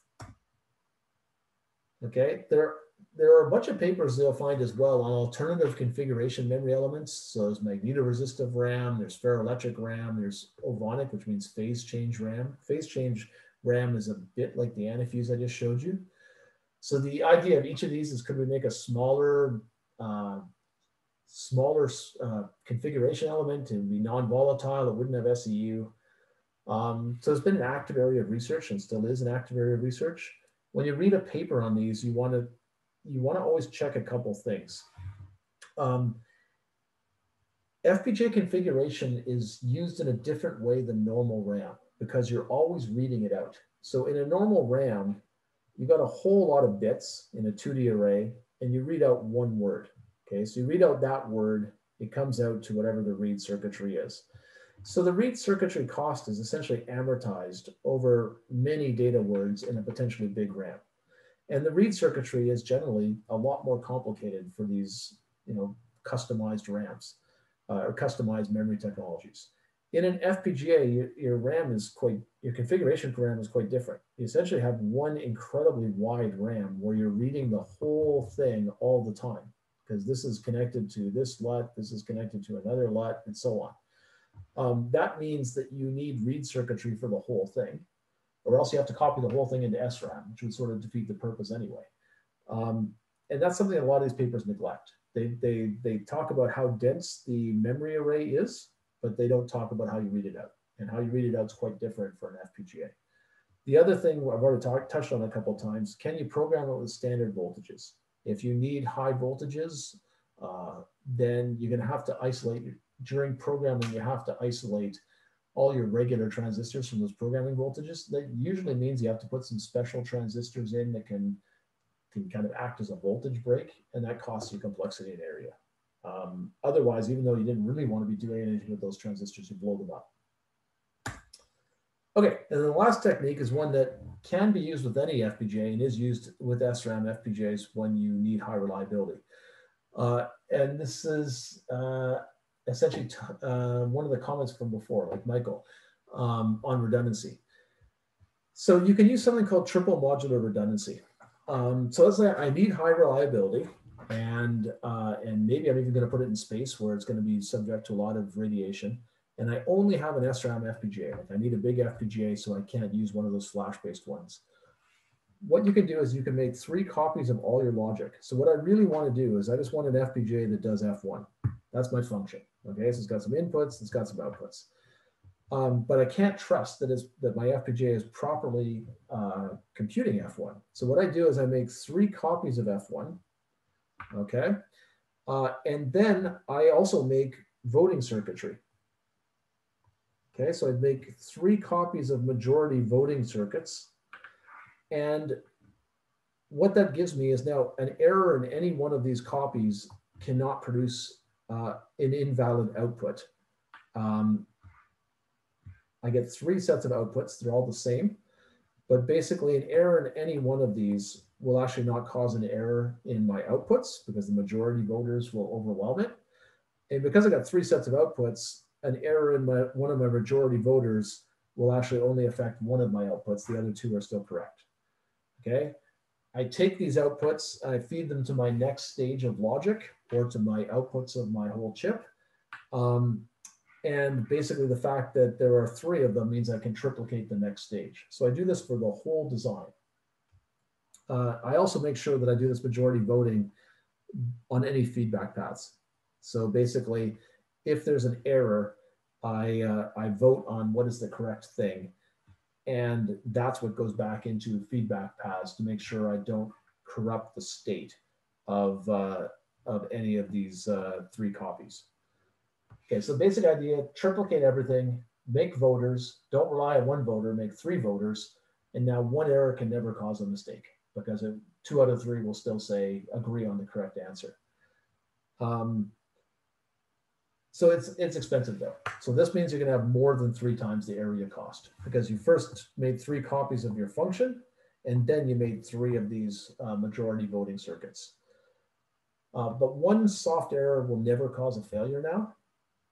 Um, if you had multiple soft errors over time, so maybe I get a soft error there, and then you know sometime later, maybe three hours later, I'm in space, I get a soft error there. Okay, now I get a problem, right? Because two out of three won't agree. So all modern FPGAs, SRAM FPGAs, have something called uh, CRC or scrubbing circuitry, cyclic redundancy check circuitry. So what they do is they basically read out. You can you can set a flag in your bit stream so that the FPGA will constantly read back its own configuration one row at a time. Okay, so it'll read out a row of its configuration. There are some extra redundant bits here. They're basically parity bits. It will use them to check. There's some circuitry down here that's doing the reading. It's all still in the FPGA. And that circuitry is going to check the parity bits. Uh, and the, they're not just parity bits. With basically enough parity bits, you can not just detect errors, you can also correct them. It'll correct uh, any soft errors that are in here and then write back the new data. Okay, and it does that constantly when you turn this on. So it'll read one word, then you know, uh, 100 microseconds later, it'll read the next word and so on. Um, so it can go through the whole configuration memory about once every 100 milliseconds.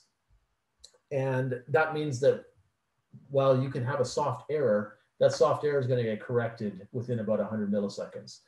The probability of having, if you've, if you've triplicated your logic like this, now the only way it can fail is if I get two soft errors, and those two soft errors have to occur within 100 milliseconds of each other because this first soft error is going to get corrected after 100 milliseconds. And the probability of that happening becomes very small. So this actually is, this is safe even, uh, even for space, okay? And FPGAs are used quite a lot in space. They're actually also used quite a bit in avionics. In avionics and space, you really want to use techniques like this or use a flash-based FPGA. Don't use a uh, SRAM-based one. Um, and yeah, so Rakshith, you're exactly right. You do frequent scrubbing to get rid of the multiple error case. Um, but because 100 milliseconds is still an awful lot of clock cycles, you in general can't tolerate that your design does something wrong for 100 milliseconds. So if you really care about reliability, you also put in uh, this triplicated logic and voting circuitry. Um, Xilinx can actually do this automatically for you. So in Xilinx, you can actually take a design module, so some part of your design hierarchy, could be your whole design, could be a piece, and you can actually uh, set a property saying I want triple modular redundancy, and it'll actually automatically make all three copies of this and the majority votes for you. Um, it's kind of a clever feature. So their CAD tools make this easier uh, because they want to have avionics and uh, space customers. Any questions on any of that? I think that is actually my last slide. uh, one, one funny conversation I had again when I was at Altera, I was talking to uh, a customer. Uh, the Salesforce had put me in contact with a customer who basically had questions about basically how common were our soft errors and and uh, and also they wanted to know how much timing margin there was in our uh, how much margin there was in our timing models. Um, and uh, so I was answering their questions, except I told them you should just close timing. I'm not going to tell you how much margin we have. And at some point, I asked when they were asking all these questions about soft error rates, and I couldn't really answer most of them because even inside the company, that was kept pretty secret. Uh, I asked like, what is this going into? And they said it's going into a, a certain plane. And I said, we you can't put this in plane. You're going to have radiation errors. Uh, like I don't know the exact number, but this is going to be unsafe. You can't do that. And they said, oh, don't worry, it's the entertainment system. Uh, and I said, oh, okay, it's the entertainment system. Then, then who cares about soft errors? And they said, oh, no, no, we care because if the entertainment system goes down, people are not going to fly the plane again. It's super important that the entertainment system be robust. So, uh, anyway, so I still remember that. I was happy it was not the uh, some kind of critical safety system, uh, but I underestimated how important uh, a robust entertainment system was. So, any questions on anything we've talked about? Okay. Uh, if, if so, that, that's the end of the course. Uh, enjoy the final assignments. Enjoy your holidays. Uh, if there's interest, I'm happy to have like another uh, Zoom coffee hour on Friday. If you're interested in that, you can just type in the chat now or post on Piazza. And uh, if there are, I'll hang around to see if there are any questions. If there are no questions, then, uh, well, thanks for being part of this highly unusual uh, delivery method of this course. Uh, and uh, hopefully I will see many of you in person around U of T in the next year or two.